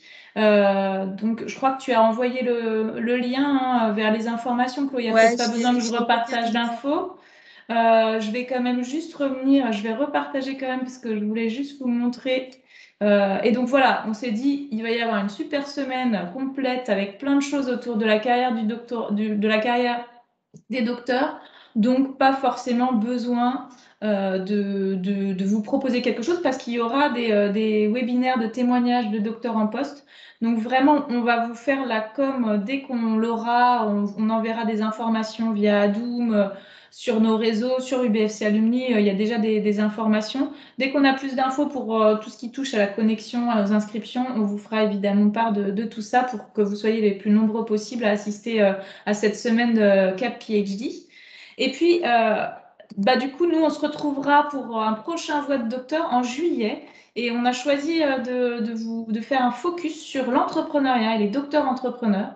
Donc, ce sera le jeudi 1er juillet 2021 à 17h30 et on va vous présenter euh, les parcours de Jennifer Langlois, qui est docteur en sciences du goût et de l'alimentation et qui a créé il y a, oh là là, je ne sais plus, 5 ans peut-être, peut-être je me trompe, euh, sa microbrasserie dans la vallée de Louche, non loin de Dijon, qui est la bonne bière de la Roche Aiguë.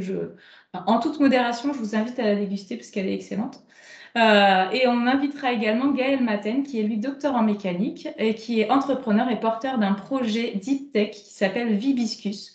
J'en dis pas plus. Sachez qu'à l'issue de leurs deux témoignages, vous aurez aussi, si ça vous intéresse, euh, des présentations de tous les dispositifs d'accompagnement qui existent pour euh, amener les doctorants et les docteurs à l'esprit d'entreprendre. On appelle ça l'esprit d'entreprendre parce qu'on n'est pas obligé d'avoir forcément un projet précis de création d'entreprise. On peut juste avoir envie de savoir bah, comment euh, bah, le, monde de l'entrepreneuriat, comment ça fonctionne, etc. Et donc, ce sera Pascal Brenet, qui est vice-présidente entrepreneuriat UBFC, et Pierre-Alain Truand, de, la, de BPI France qui, viendront vous parler un petit peu de tout l'écosystème de l'entrepreneuriat euh, et de tout ce qui existe et qui est mis à disposition euh, notamment du public des doctorants et des docteurs. Donc on vous attend nombreux sur cet événement. On communiquera bien évidemment autour de tout ça quand ce sera le moment, mais avant ça, il y aura la semaine KPHD. Et de toute façon, vous pourrez retrouver euh, donc l'inscription à cet événement sur la plateforme. Euh, donc, on mettra en ligne d'ici euh, d'ici quelques semaines. Voilà. Et puis, bah, pour finir, on vous invite bien sûr à remplir le petit questionnaire de satisfaction qu'on va vous envoyer incessamment sous peu après l'événement. Et moi, il me reste à remercier encore tout le monde, tous les intervenants et aussi vous, participants, qui êtes restés jusqu'au bout avec nous et qui avez qui vous êtes intéressé à cette thématique. Donc, euh, j'espère que tout ça euh, vous aura été utile et qu'on vous retrouvera prochainement pour un prochain Voix de Docteur. Merci à toutes et à tous. Et puis, euh, je vous propose, les deux Marlène, Manu et Chloé, de rester en ligne pour faire un micro débrief si vous en avez le temps. Et, puis, bah, on se retrouve bientôt. À tout le monde, à bientôt. À bientôt. À bientôt. Au revoir. Merci, au revoir. Au revoir. Marlène, oui. Je te recontacte. Au revoir. Avec grand plaisir. Bonne soirée.